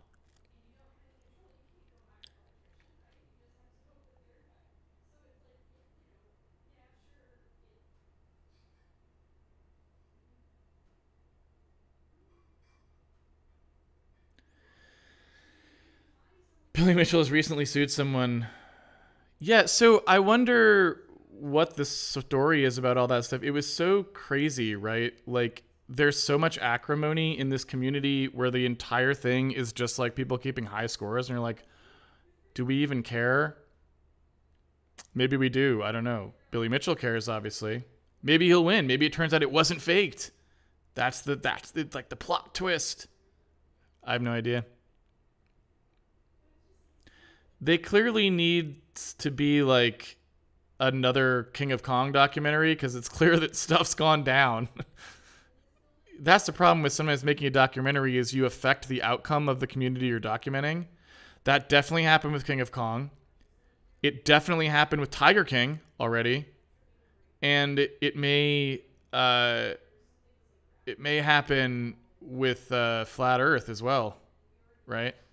It's like documentaries are not uh are not separate from the story. They become part of the story.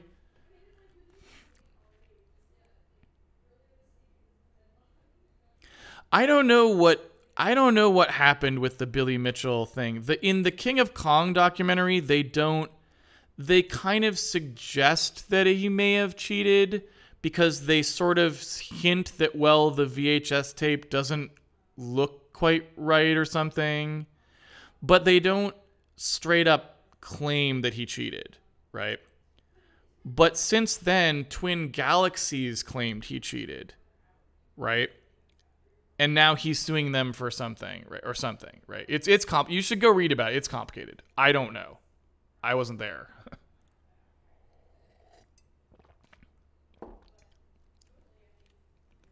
Can you explain more what a micro op is? Yes, I can.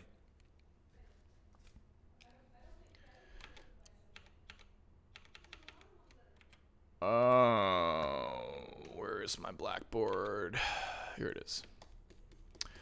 All right, so the modern execution architecture of like, you know, of like a Skylake core, Skylake-ish core so it looks like there's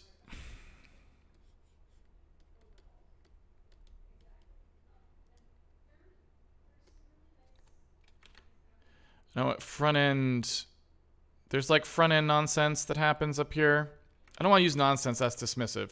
Front end uh, prep, I don't know. So there's like your instruction stream uh, that's like sort of what we looked at before, right? And I don't remember exactly what the instructions we were looking at, but they were like, you know, add, I don't know what it was, like add EAX or something, uh, D word pointer, brackets ECX or something. I don't remember what the instruction stream was, so I apologize, but it's something like this, right? And I was saying like, oh, then there's going to be like a sub uh, sub EDI or something. I don't. Again, I don't remember what it was, but it was something like this, and then it was a JNE to a label, right? And the label was like up here. So this is like a loop, right? And it's going to do this instruction, this instruction, this instruction, and then it might keep going here, or it may go up here, you know, based on whatever EDI was. So it's three instructions, and these, when we say the word instructions, that's a very specific word here and it's used intentionally. These are assembly language or machine code instructions. They aren't actually things the processor executes as is, they get munged. And in the old days, that was not really maybe as true. You know, I wasn't a C64 jockey or a 68K guy or any of that stuff. But, you know, when you had the old 8, 16 bit, 32 bit microprocessors up until like the Pentium era stuff, um, typically like the assembly language instruction was what the processor executed. So like an add was an add and a and a jump was a jump and so on. And it was just one to one. Most of the time, I think. But that's not true anymore. Like modern processors are way more complicated. So basically what happens is sitting in a cache somewhere um, well, you know, this is in memory or whatever. Sitting in a cache somewhere, it's typically called the I cache uh, which is the instruction cache. But really, uh, you can think of it as it's part of the L1 subsystem on the chip. It's the fastest possible uh, memory style cache. These will exist somewhere in here if they're about to be executed. So inside the I cache, this data, the actual bytes that encode this, will be in here. And what will happen is the front end is responsible for figuring out, based on what's in the iCache, what the heck is supposed to happen. And nowadays, that's actually really freaking complicated. And I probably didn't put enough space here. So what's going to happen is each one of these instructions has to be decoded into operations that the CPU can actually perform. And for example, this instruction right here, I have sort of semi-intentionally written this in a way that makes it so that literally none of the instructions that you see are operations that actually occur. None of these are operations the CPU performs. None of them, literally, if I'm remembering correctly. So starting with this instruction, the CPU actually has multiple things it needs to do. This D word pointer reference here, this is a load. So it's a load from memory. And then this add here is an add operation for like an ALU unit. It's like an integer add. So this is really two what we call micro ops. Because even though it is one assembly language instruction, it's actually two micro ops, a load and an add. Okay?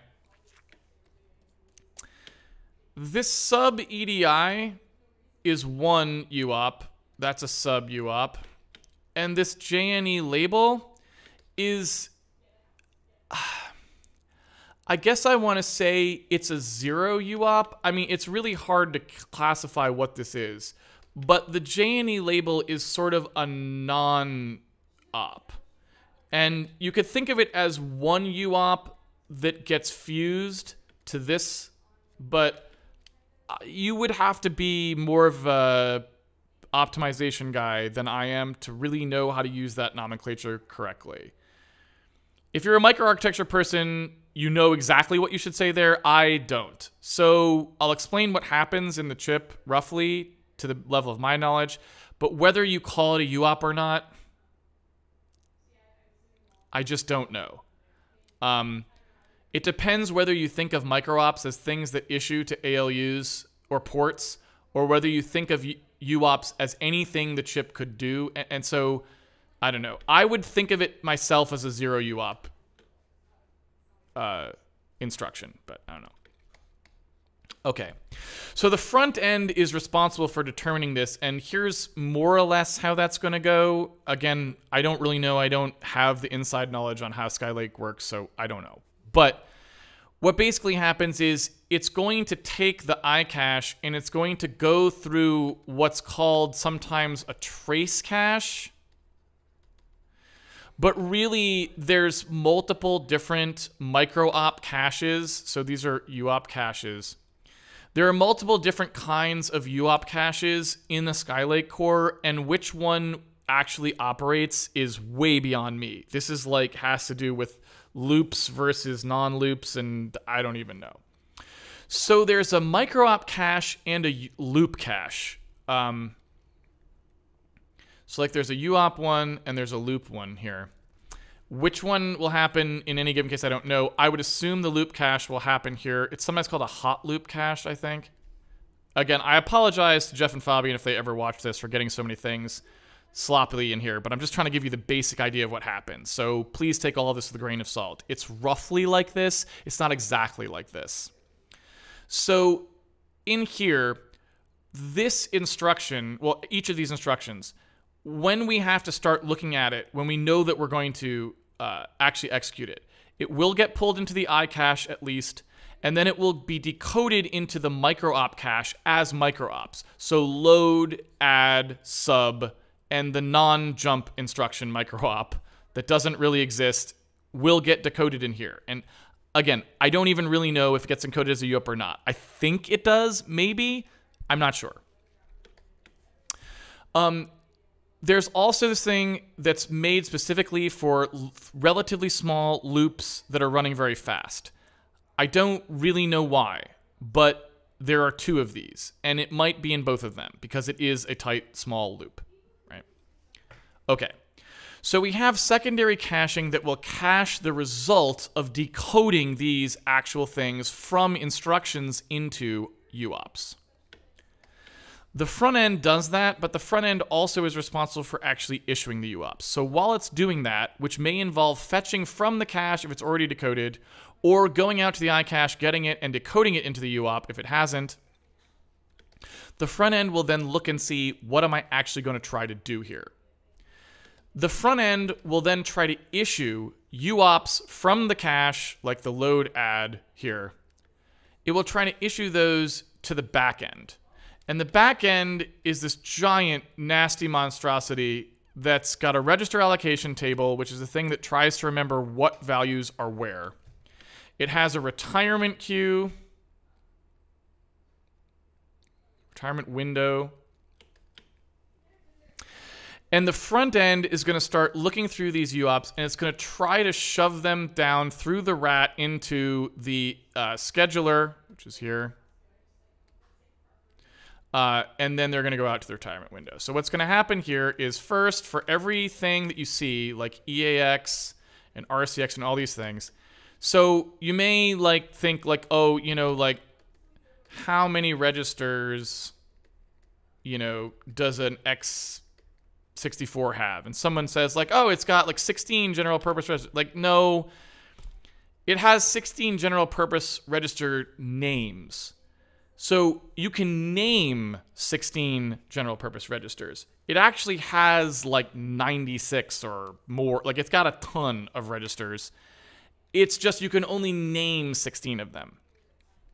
And what that means is that as you do ops on registers, if you use the register multiple times and overwrite things in the instruction stream, the out of order execution nature of the processor means it can be executing many instructions from an instruction stream at once.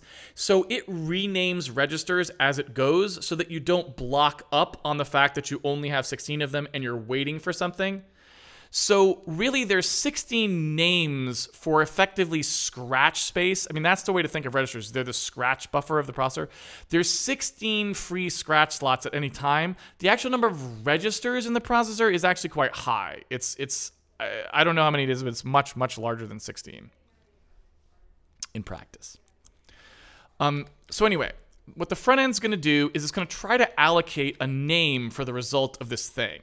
So it sees this add and it says, well, I got to load ECX, so ask the register allocation table, right? It, it, sorry, it's, it's actually looking at this now, right? I've got to load ECX from a location in memory, so go ask the register allocation table where the heck is the value of ECX right now, because it's not in ECX because there is no such thing. There's just a giant table of values, and we just need to know where was the last time anyone in the instruction stream stream tried to modify ECX, that's what we've got to get. So tell me where that thing is. And the rat will tell us, right? So it tells us where that thing is. Then we go, hey, scheduler, we need to schedule a, a port op for a load, and that goes on port two or three, right? So we're going to schedule on port two or three a load into uh, this uh, from ECX into uh, a temporary location, right? Just some value we need. It doesn't have to have a name. Some value we need, and we're going to use the result of that later, right? So that's going to go into the scheduler, and the scheduler has off to the side like all the ports. Port 0, 1, 2, 3, 4, dot, dot, dot, right? And we know that ports 2 and 3 are the load ports, so in here the schedule's got this load, and this load is going to be sitting there as a micro op, right? It's, an, it's a micro op load. It's sitting there as a micro op waiting for ECX. Now, again, it's not called ECX anymore because we got some name out of here. Slot 73 is what was in the ECX for right now. So it's waiting for slot 73 to be done. When slot 73 is done, this instruction will become ready, right? And will get executed as soon as somebody has a spare port 2 or 3. So on a cycle when a port 2 or 3, either of those are available, the load op for uh, this, if it's ready, if we've if ECX has been readied, if 73, if that version of ECX has been readied, it will then issue this. When this comes out of the pipeline, some number of cycles later, in the case of a load, it's like one cycle later if it hits L1, 14 cycles later on L2, or 300 cycles later if it's memory, who knows. Um, this load will then uh, retire out to the retirement window for micro ops. So somewhere in here, this thing gets retired, and these go in order. So this will literally have like the load, the add, the sub, uh, and the jump won't be in here. The load, the add, the sub, the load, the add, the sub, right? Um, well, that's not true. The jump will sort of be in here, but it won't be in here as a jump. It's more like a verify, right?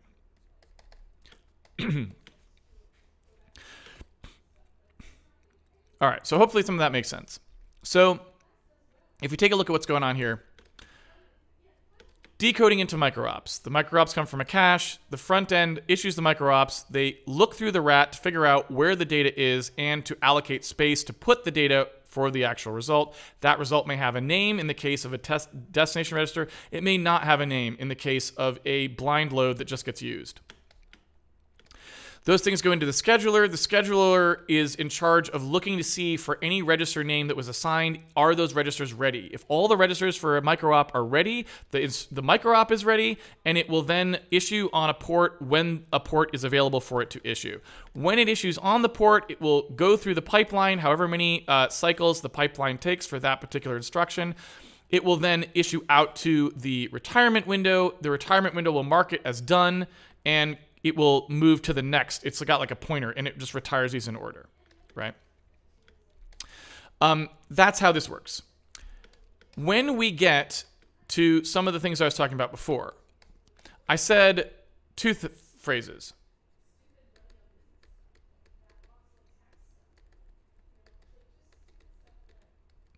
I said macro op fusion and micro op fusion. These are the two types of fusion that occur. Why do we care? We care because there are UOP limits and instruction limits that uh, apply. In a single cycle, the front end uh, on a Skylake core can only process four, can only decode, right? Can only decode four instructions, I want to say. Don't quote me on that. So if you are seeing the code for the first time, add, sub, jump, one more, it can decode those four, I believe. Can it, is it only, is it four instructions or only four UOPs? You know, I'm sorry, I can't remember. I don't remember if there's an instruction limit, so I'm just going to talk about the UOP limits. All right.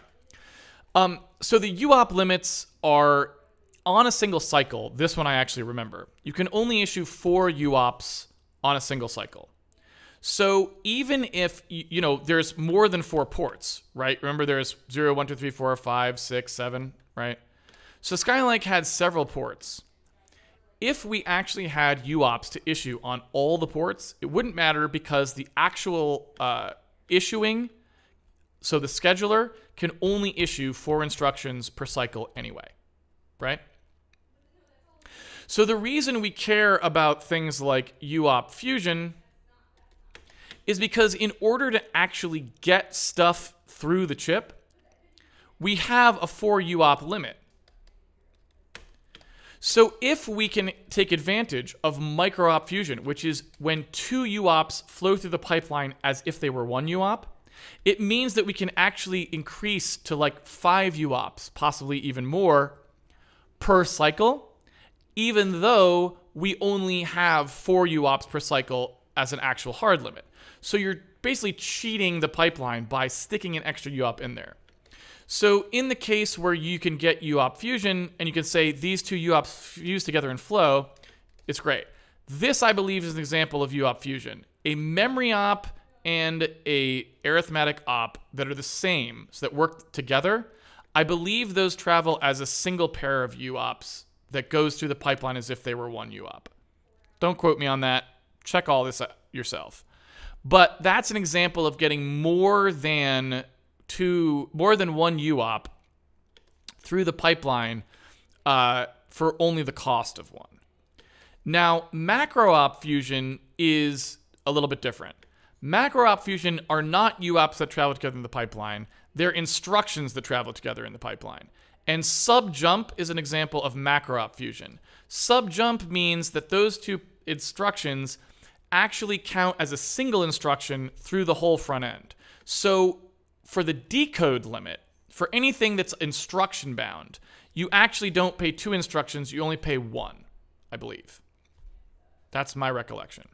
So basically, if there was something that could only process four instructions, and I can't remember if it's only four instruction decodes per cycle, I'm sorry.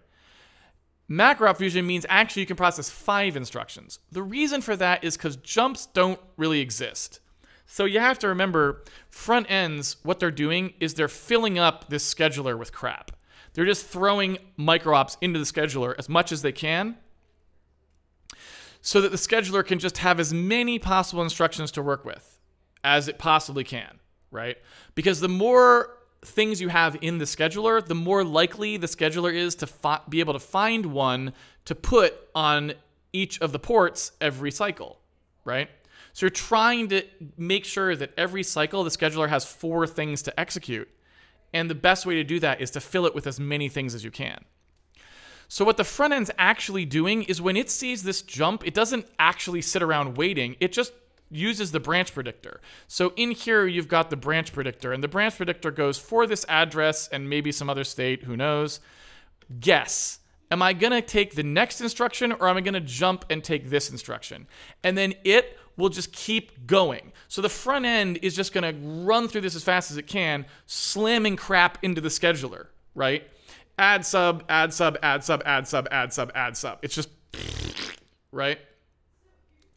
And for the case of this particular thing, since these are both cheap, it doesn't pile up because the, the ports can issue that can uh, execute this just as fast as the front end can handle it. But imagine you had something more expensive. Like imagine instead of an add, this was a div, so that these started to get really backed up, you just have like div sub, div sub, div sub, div sub, div sub. Those would just get stuffed in here. You just have like a crap ton of divs sitting in the scheduler, right?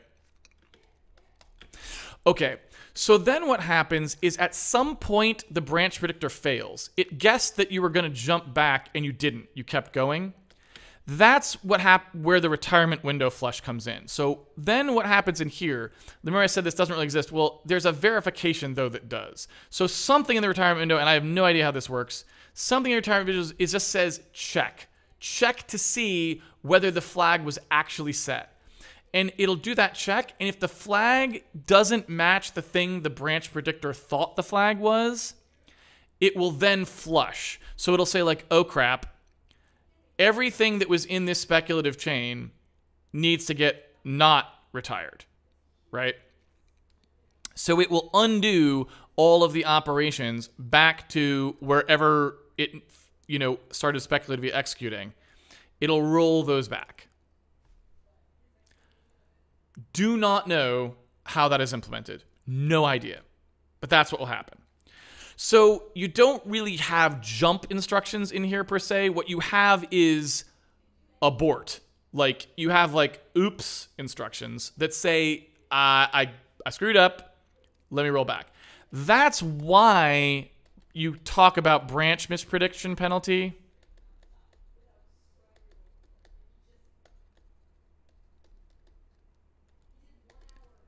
Right? And that's why it's so high. It's why it's like 20 cycles or whatever, right? Um, it's because it's got to go like, hey, yeah, the pipeline was probably 20 cycles, 10 cycles long. Who knows how long the pipeline is? Everything that was in the pipeline that I issued speculatively past the branch, which could be quite some time, it's all wrong. So we're in trouble. If we were waiting on a memory access to come back to tell us that, it could be huge, right? It could be like 300 plus cycles because all the stuff we issued, every single operation we issued. Uh, well, I don't know if that's actually true because we may not even have enough in the retirement in the window for that. I mean, maybe there is. I'm not sure. The rat the retirement window may not be long enough for some of these. I don't know how long it is. But point being, it can be way more than 20 cycles if we're if if the branch mispredict was on a memory load type thing was or dependent on a memory load then we go through and we're like, oh crap, we did a ton of work and it's all wrong. You know what I mean? So.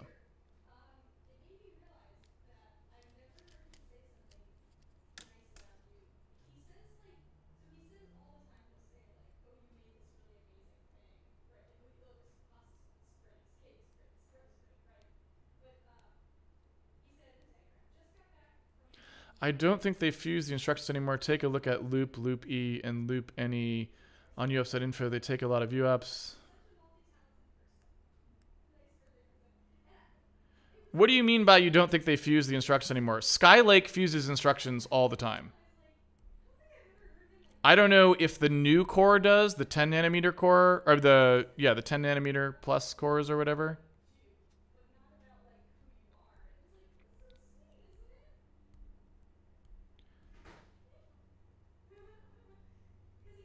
Oh, I see. No, right, right, right. Yeah, no, I'm not talking about the compiler.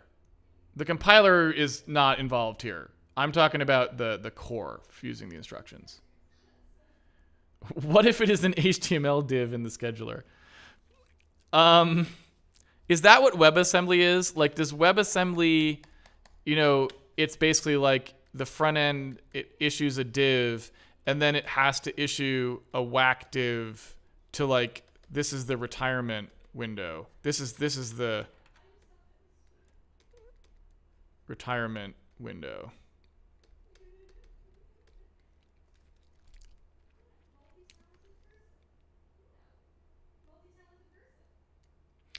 Uh, and yeah, um, Printf Armin says they do even crazier instructions. Yeah, like my understanding was that the instructions per clock because it's hard to push the clock rates up, they're trying to get more aggressive on instructions per clock.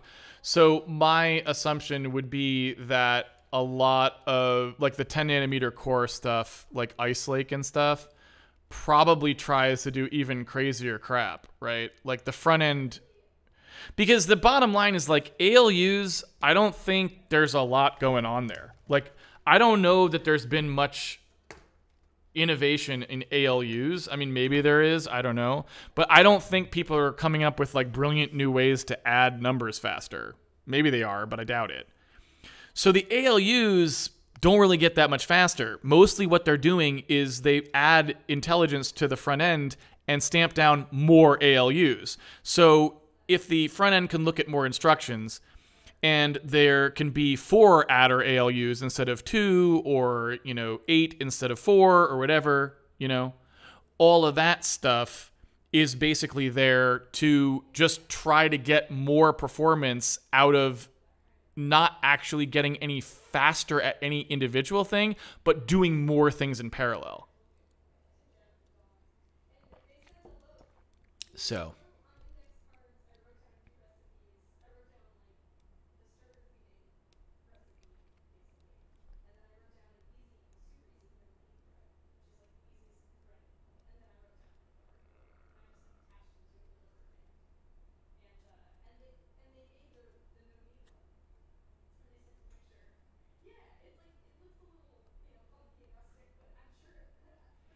All right, I think we're all good here.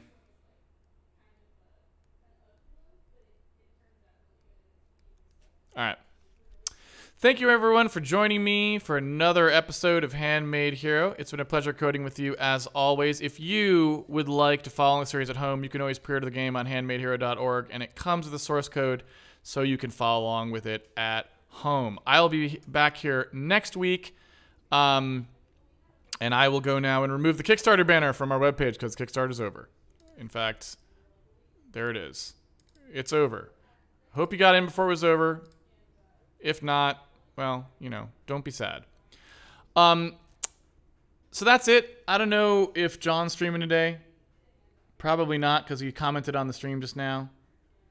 But uh, maybe he'll stream some slipways so he can prove. No, I said probably not. Okay, but I want to see where the where is the proof that you got four stars there, my friend? Because I do not. You did not get four stars on tough. We all know that that didn't happen. Naysale just doesn't have those kind of skills. Especially not after last night where I had to, to bail you out when the hordes were attacking. Yeah, you should have OBS'd it. At this point, if the, if those are actually real screenshots, then you're better at slipways than I am by a long shot, so I should probably be watching you for the pro tips. All kidding aside. Um, but yeah. There really aren't save games in slipways because you just kind of play you know a 30 minute game and that's it. There's there's not it doesn't really persist like that. That's a very good point. That's a very good point. Although i think i streamed mine. I think mine was on stream so that does that i do have the recording of that on my hard drive here. All right. That's it everybody. Take it easy